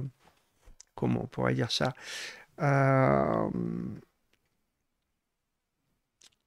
qui est un point de contact entre les symboles et le monde des choses qui soit dans un ordre de réalité euh, ça laisse supposer quand même toute une série de rapports magiques entre euh, discours et monde, hmm. par lesquels du coup le discours est susceptible de l'échanger, ce monde. Pour ça, c'est vraiment, euh, comment dire, quand j'entends dans le texte les mentalités médiévales, je je sais pas trop ce que ça veut dire. Voilà. Je pense que cet héritage euh, historien-là, l'idée qu'il y ait des mentalités. Euh, ça a des mentalités d'une époque et.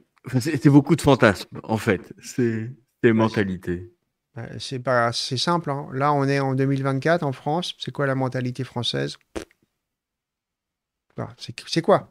Hmm. Mais je vous mets au défi de, de dessiner le portrait d'une mentalité française. C'est aberrant, en fait.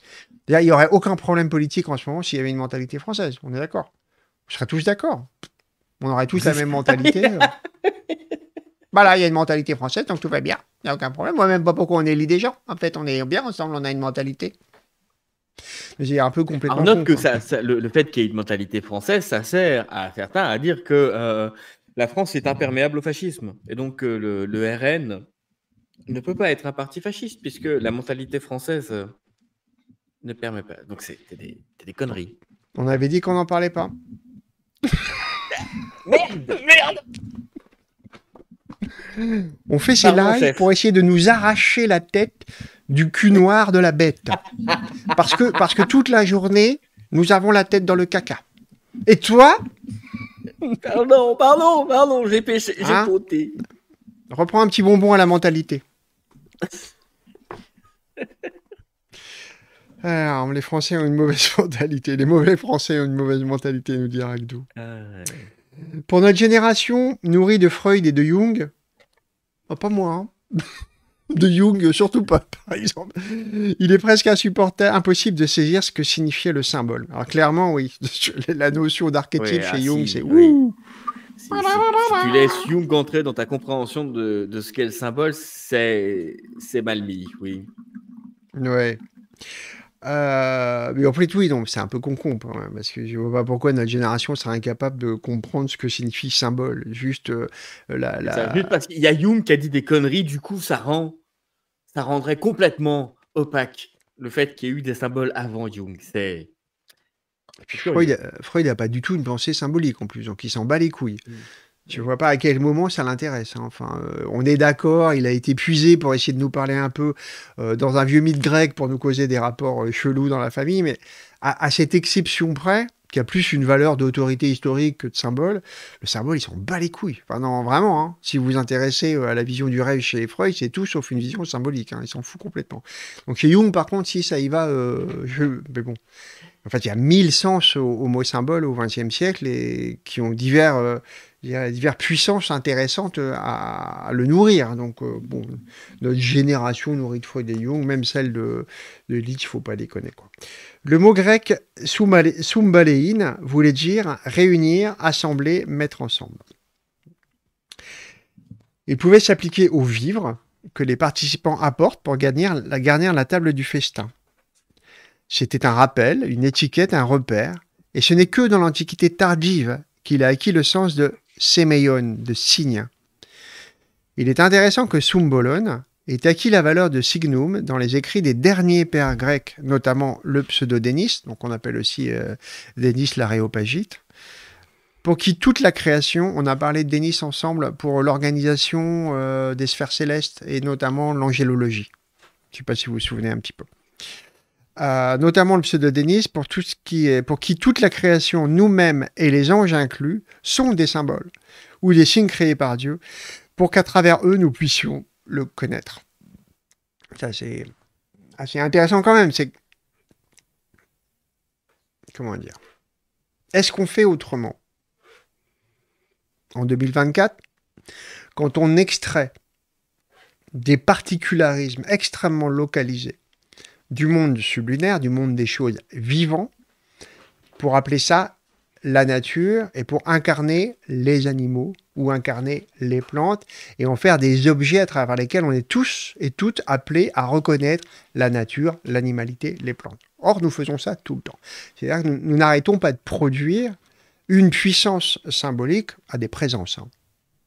Donc, on ne va pas gueuler que, à travers l'histoire, cette tentation a été grande pour, à travers des émanations, prétendre connaître quelque chose qui les dépasse. D'une certaine façon, bah, euh, finalement, le, ce qu'on disait tout à l'heure, connaître l'invisible par les visibles, euh, ça fait partie aussi du cheminement néoplatonicien, à travers lequel la force symbolique peut s'exercer comme un des points de contact. Alors c'est sûr qu'il est d'une nature un peu particulière, puisque c'est un signe, donc euh, ça veut dire aussi qu'il est directement impliqué dans une chaîne de connaissances qui est celle qui est discursive, que les statuts des éléments supérieurs au signe vont être du coup des statuts fonctionnant par la chaîne du signe, c'est-à-dire vraiment des opérations, opérations d'énoncé, opérations de discours, etc.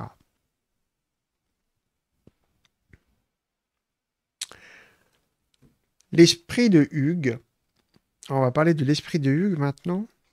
Ok. Ah non, pardon, j'ai oublié un truc sur le... Les symboles, des signes créés par Dieu pour qu'à travers eux, nous puissions le connaître. Parce qu'il est par nature inconnaissable. Hein.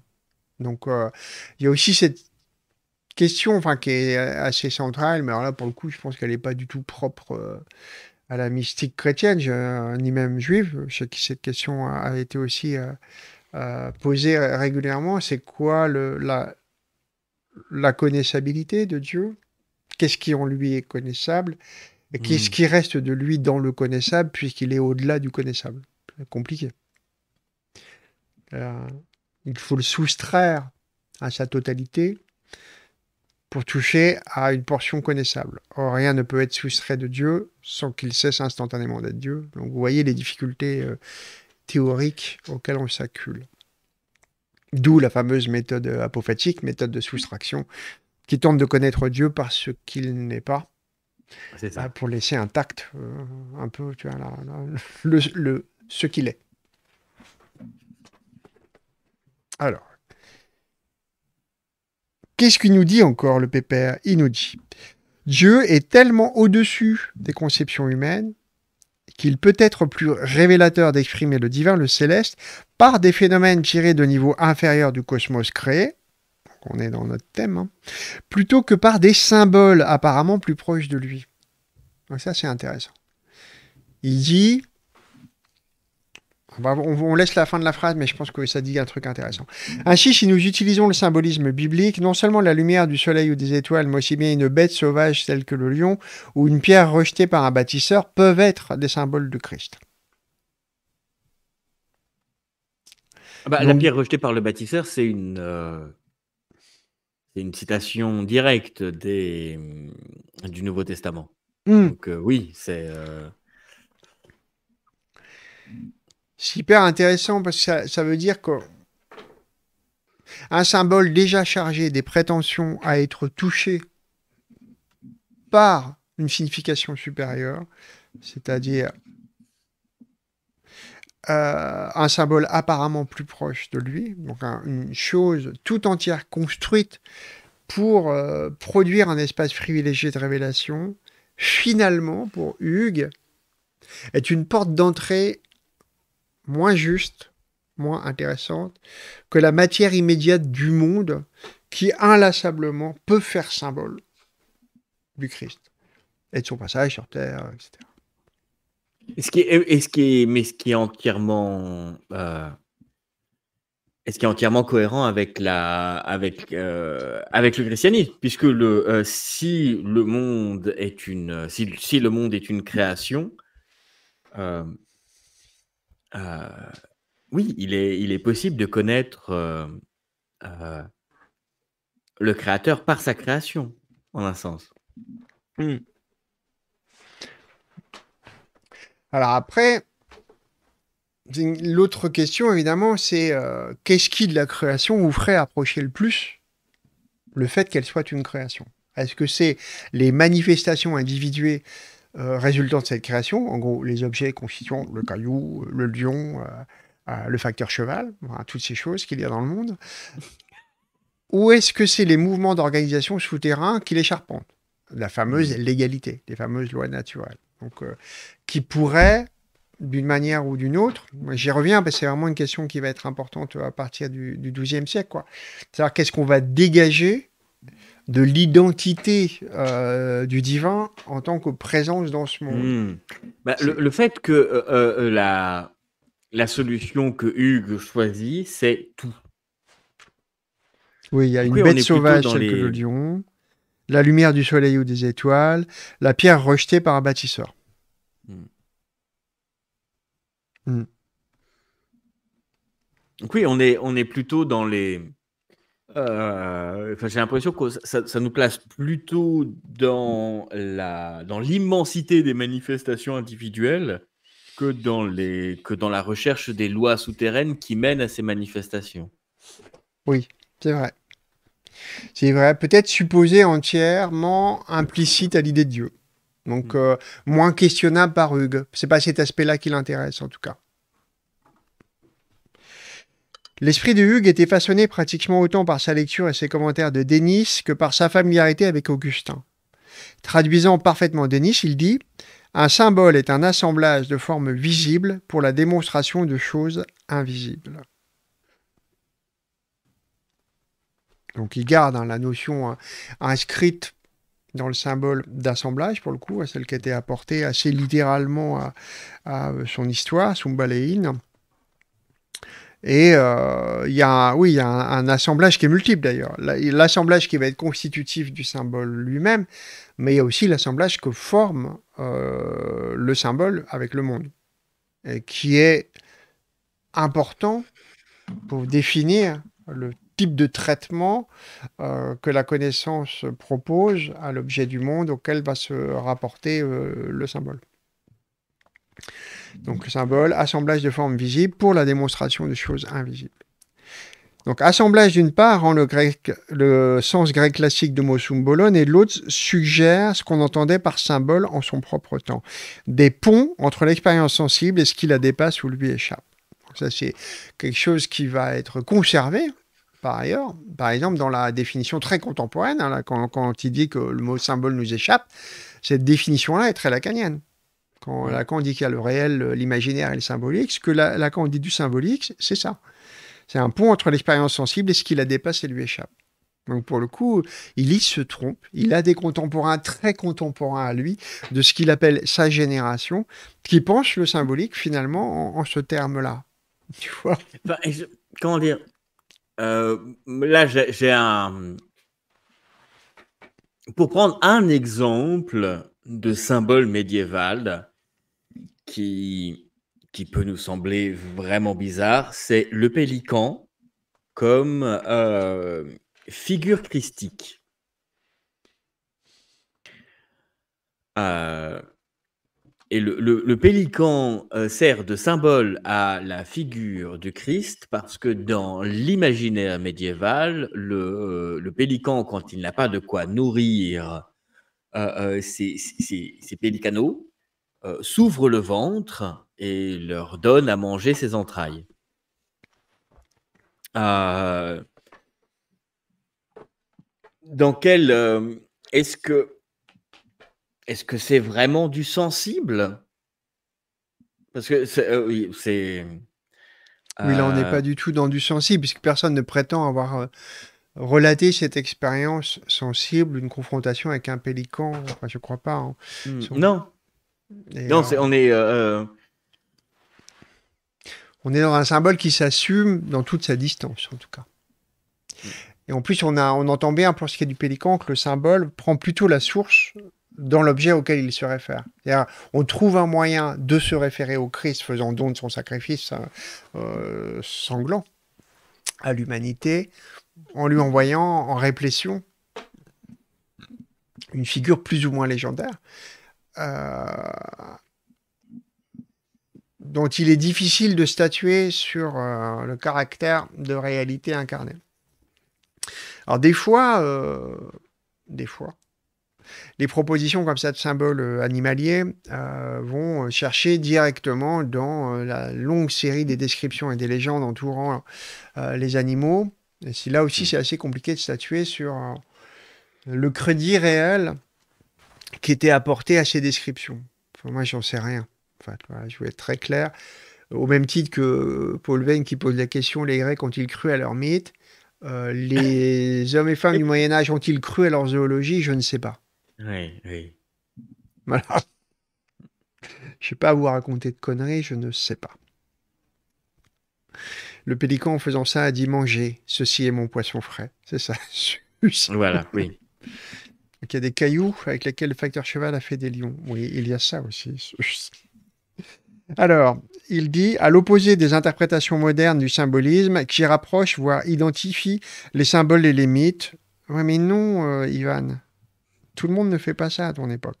Pour Hugues, ce sont des faits, alors là on cite directement euh, Hugues, hein, des faits et des événements, des phénomènes en deçà et au-delà de la nature et de l'histoire, destinés à conduire au domaine métaphysique et métahistorique qu'englobe la foi et la théologie. Non, ça ne peut pas être Hugues qui dit ça. Ça, ça doit être euh, Ladner qui cause. Hein. Euh, parce que je ne vois pas comment Hugues pourrait parler comme ça. Alors, c'est quoi ces trucs? À 75 ah, Ibidem, D'accord. C'est bien ça. C'est Ladner, donc le maître d'Illich, qui résume un passage du pseudo-déniste, d'accord, dans les hiérarchies célestes. C'est Coelesti et. Donc, on reprend le petit texte qui est de Ladner, d'accord, qui décrit ce qu'il pense pour Hugues. Des faits et des événements, des phénomènes en deçà et au-delà de la nature et de l'histoire, destinés à conduire au domaine métaphysique et métahistorique qu'englobe la foi et la théologie. Lorsqu'on a compris que l'ordre cosmique est un donné, et alors seulement, la difficulté que Hugues éprouve pour expliquer l'ordre méthodologique cesse de paraître puérile. Le lecteur doit apprendre à distinguer ordre et ordre. La séquence chronologique qui vit Cicéron rédiger ses ouvrages est d'un autre ordre que leur succession dans le volume où les a reliés l'archiviste. Donc il y a, voilà, il y a deux ordres. Il y en a un qui est conséquent juste qui est matériel, comment l'histoire a fini par les assembler, et l'organisation propre de la pensée de Cicéron hein, pour les organiser. Hugues souligne à l'intention de ses étudiants que l'ordre historique doit être distingué de l'ordre au sein duquel nous apprenons. Hyper intéressant. L'air de rien, il y a en fermant une épistémologie qui se distingue là. Mmh. Une lecture attentive isole et choisit toujours des bribes qu'il faut ensuite rassembler, tamiser, arranger. Mais ce processus de mise en ordre ne pourrait être effectif que si le lecteur se rappelle un point essentiel. Toute chose et tout événement en ce monde tirent leur signification du lieu où ils s'insèrent dans l'histoire de la création et du salut. C'est la tâche du lecteur d'insérer tout ce qu'il lit à sa juste place dans l'historia, c'est-à-dire en gros, entre la Genèse et, l'Apocalypse. Simple. Bah, Simple. Alors, là, on a un petit texte là de Hugues. On y va, euh, qui a l'air tiré du Didascalicon. L'écriture sainte tout entière est si adéquatement ajustée et arrangée en toutes ses parties par la sagesse de Dieu, que tout ce qu'elle contient ou bien sonne comme les cordes d'un instrument avec le charme de l'intelligence spirituelle, ou bien contenant l'énoncé de mystères placés ça et là au cours d'un récit historique ou dans un contexte littéraire, elle les assemble, si on peut dire, en un seul objet et les lit tous ensemble comme la caisse de bois sous les cordes tendues. Donc on, retrouve hein, cette métaphore musicale mmh. importante.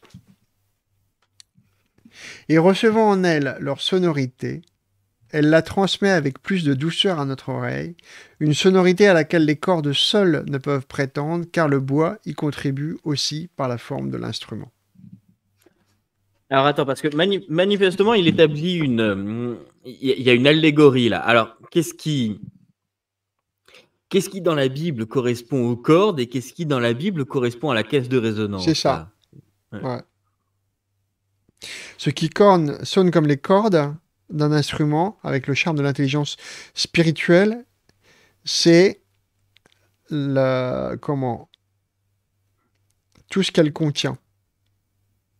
Donc l'écriture sainte est si adéquatement ajustée et arrangée en toutes ses parties que tout ce qu'elle contient, ou bien sonne comme les cordes d'un instrument avec le charme de l'intelligence spirituelle, hmm. ou bien contenant l'énoncé des mystères placés ça et là au cours d'un récit historique ou dans un contexte littéraire, elle les assemble, si on peut dire, en un seul objet et les lie ensemble comme la caisse de bois sous les cordes tendues. Donc, l'énoncé des mystères placés ça et là au cours du récit historique, la dans un contexte littéraire, c'est la caisse de résonance.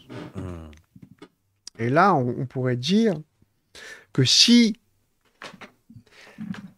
les vibrations de l'énoncé, qu'on pourrait dire mystique hein, du texte, n'avait pas la caisse de résonance de la forme du récit, alors nous ne serions pas touchés avec une telle ampleur. Donc euh, la, la, partition que nous joue Dieu, en quelque sorte, repose aussi sur la perfection de cet instrument double, en tout cas à, cette double articulation, qui doit euh, tout ensemble nous donner une certaine idée de ce qu'est ce fameux ordre, quoi.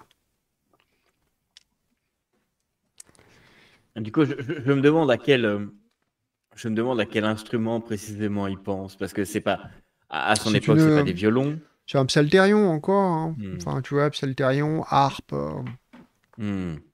C'est ce type d'instrument. Euh, comment? L'instrument auquel se réfère Hugues, est-ce que c'est le même que celui de Joachim de Flore.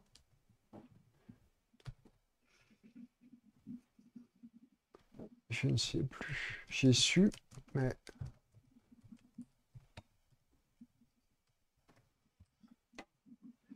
Alors, Hugues Saint-Victor, musicologie.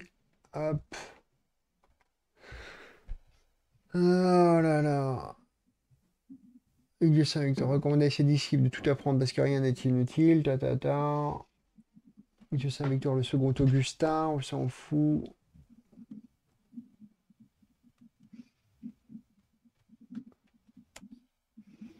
Alors, le Dias Calicon est consacré aux arts libéraux et donc compose un passage sur la musique.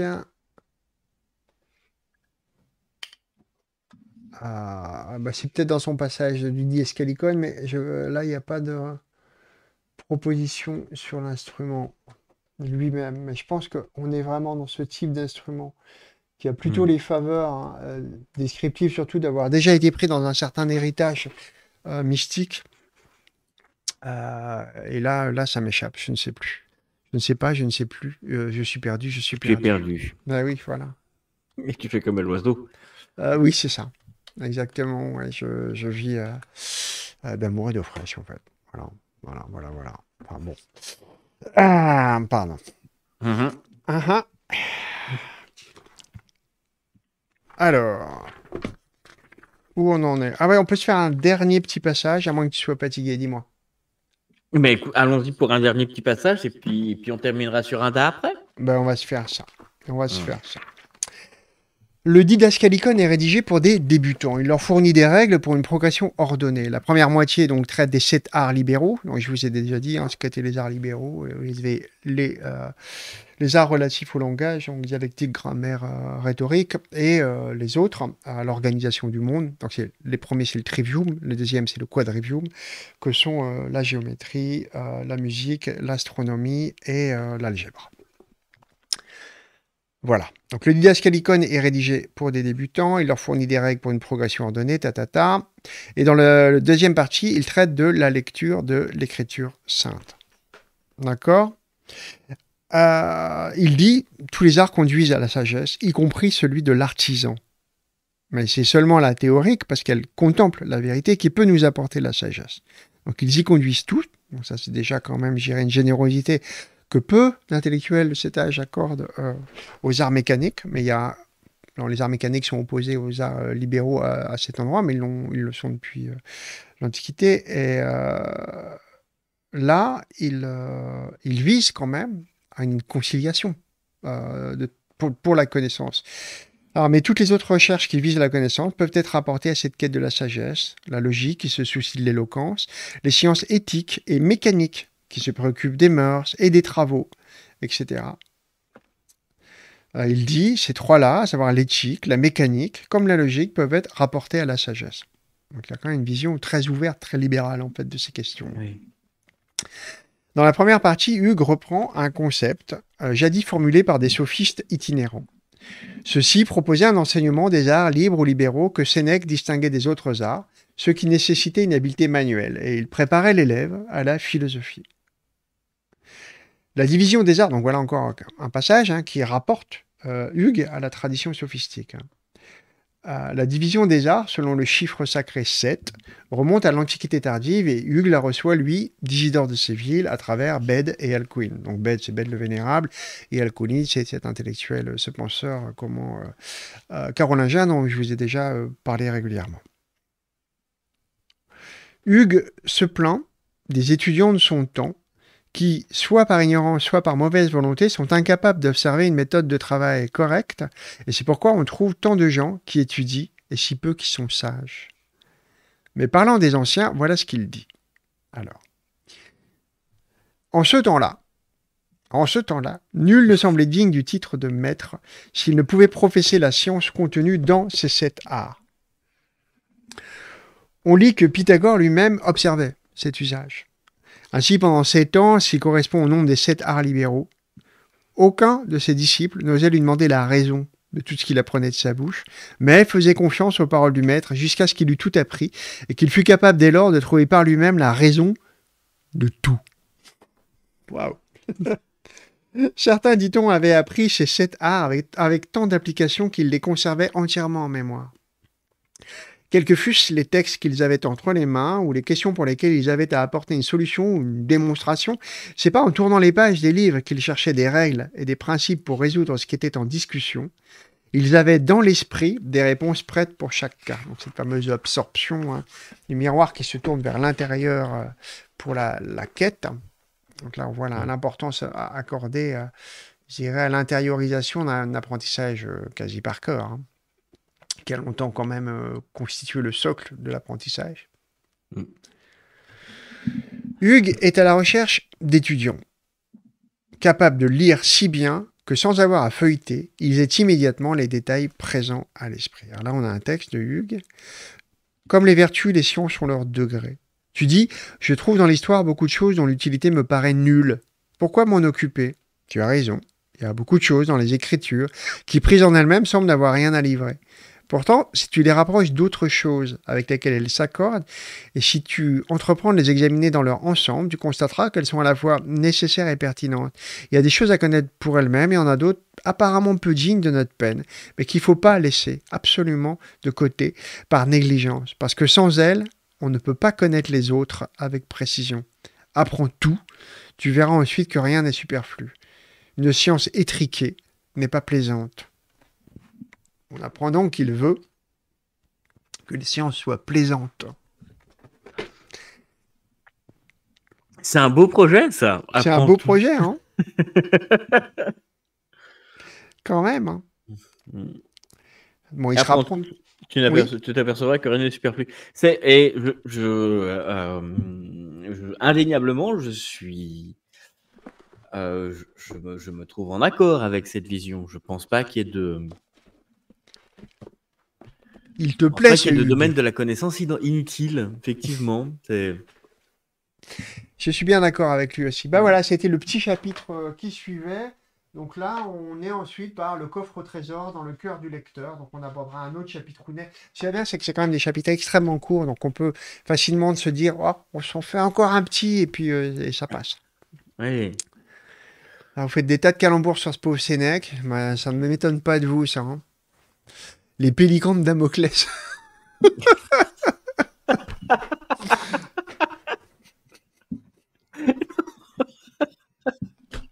Putain, vous êtes relou. Mais alors là.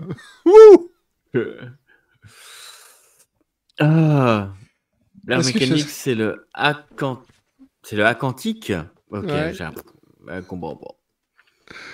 Le arcantique Arcantique De quoi tu parles, docteur Rakdou Qu'est-ce que c'est que ça, le arcantique Ah là, tu m'as perdu. Hmm. Est-ce qu'on se ferait pas un petit da. Un petit da. Ah, on, est au chapitre, on est au chapitre XL, donc 40. Euh, ah, déjà. C'est dingue. Le glaive.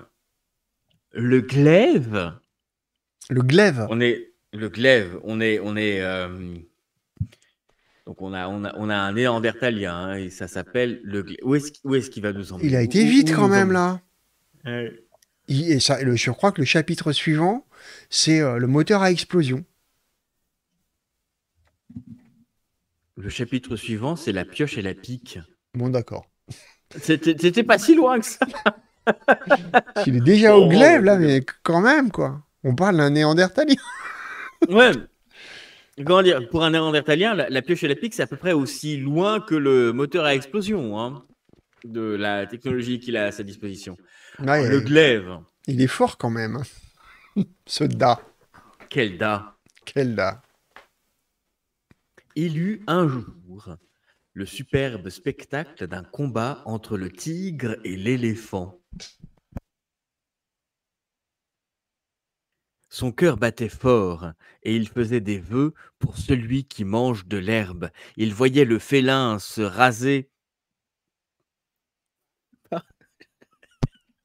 Il voyait le félin se raser? Quoi?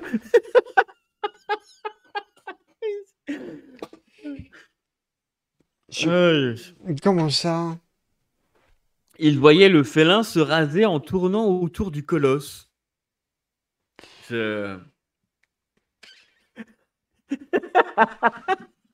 Il m'a perdu.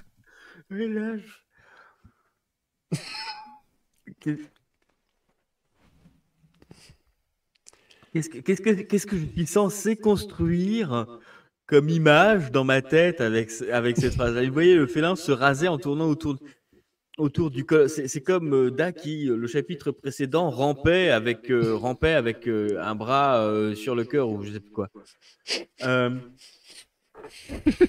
Donc il voyait le. Alors déjà, un combat entre le tigre et l'éléphant. Hein. Donc je, je, rappelle que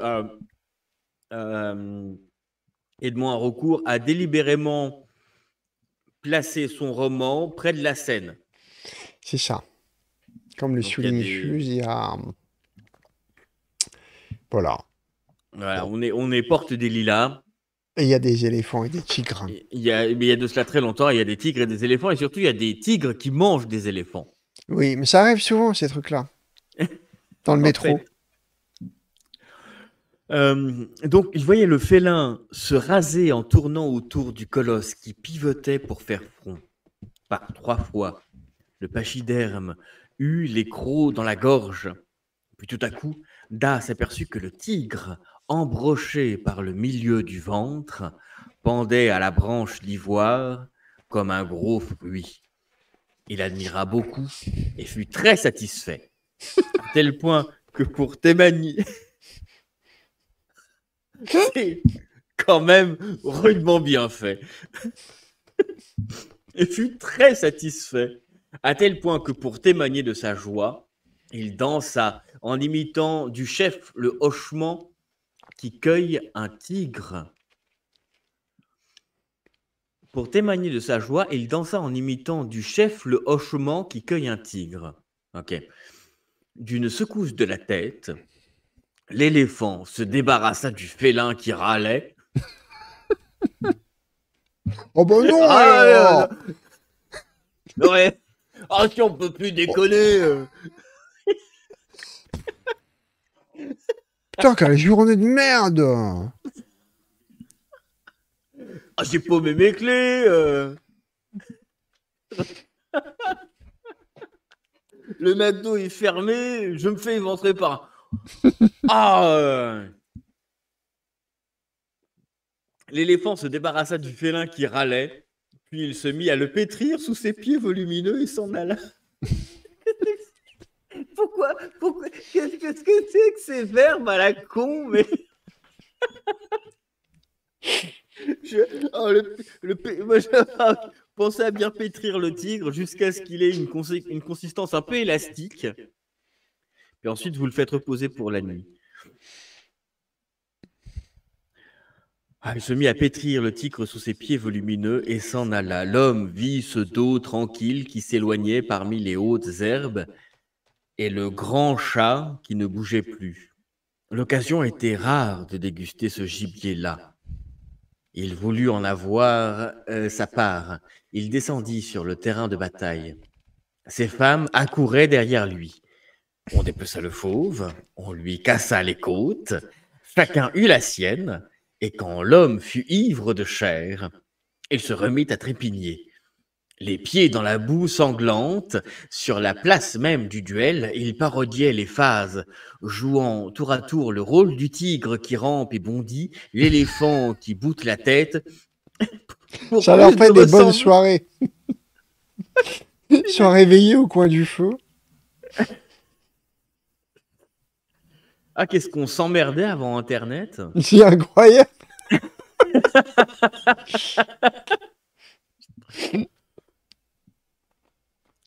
Pour plus de ressemblance, il ramassa deux fragments de côte décharnée et les maintenant à plein point aux commissures de ses lèvres, il fut le vainqueur qui barrit.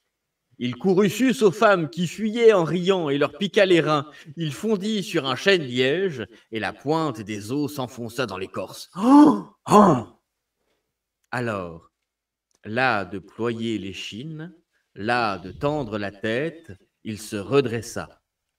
Un simulacre de bataille commençait à ne plus lui suffire. La fureur le gagnait. Il empoigna par le col un des tronçons de côte et violemment, de toute la vigueur de son bras, il poignarda le chêne-liège d'un si rude coup d'estoc que la lame resta plantée dans l'arbre. Il venait d'inventer la dague, l'épée, et tout ruisselant de sueur, l'œil arrondi par la surprise, il contemplait ce chef-d'œuvre.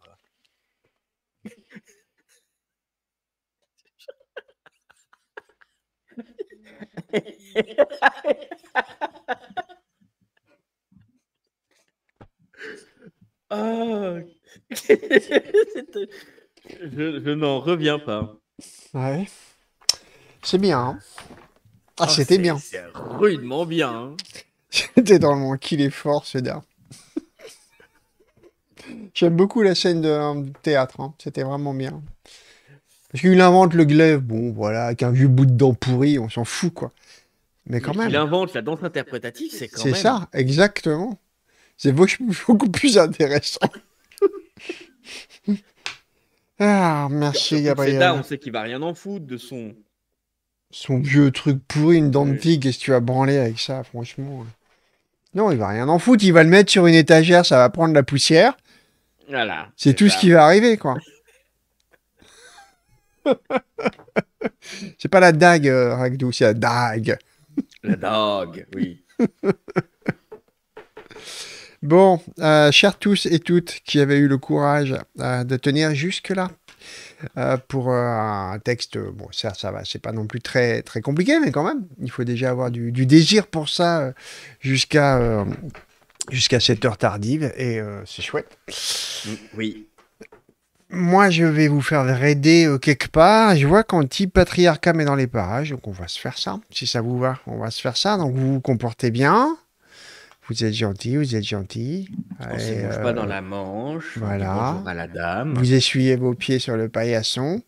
Vous ne mettez pas vos doigts dans votre nez. Vous dites bonjour à Alex. Et puis, euh, je vous souhaite une, une, bonne fin de soirée chez Anti-Patriarcat. Donc, euh, je ne sais pas de quoi il cause. Enfin, si, des politiques, ça c'est sûr. Donc, ça, ça va être un moins marrant, je pense, à mon avis.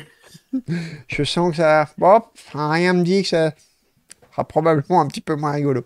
Mais bon, ça va sûrement être très bien. Donc, je vous souhaite une bonne fin de soirée. Je vois que le raid est en train de se lancer. Vous y serez dans quelques secondes. Et hop, moi, je vous dis ben, à mardi peut-être. Hop.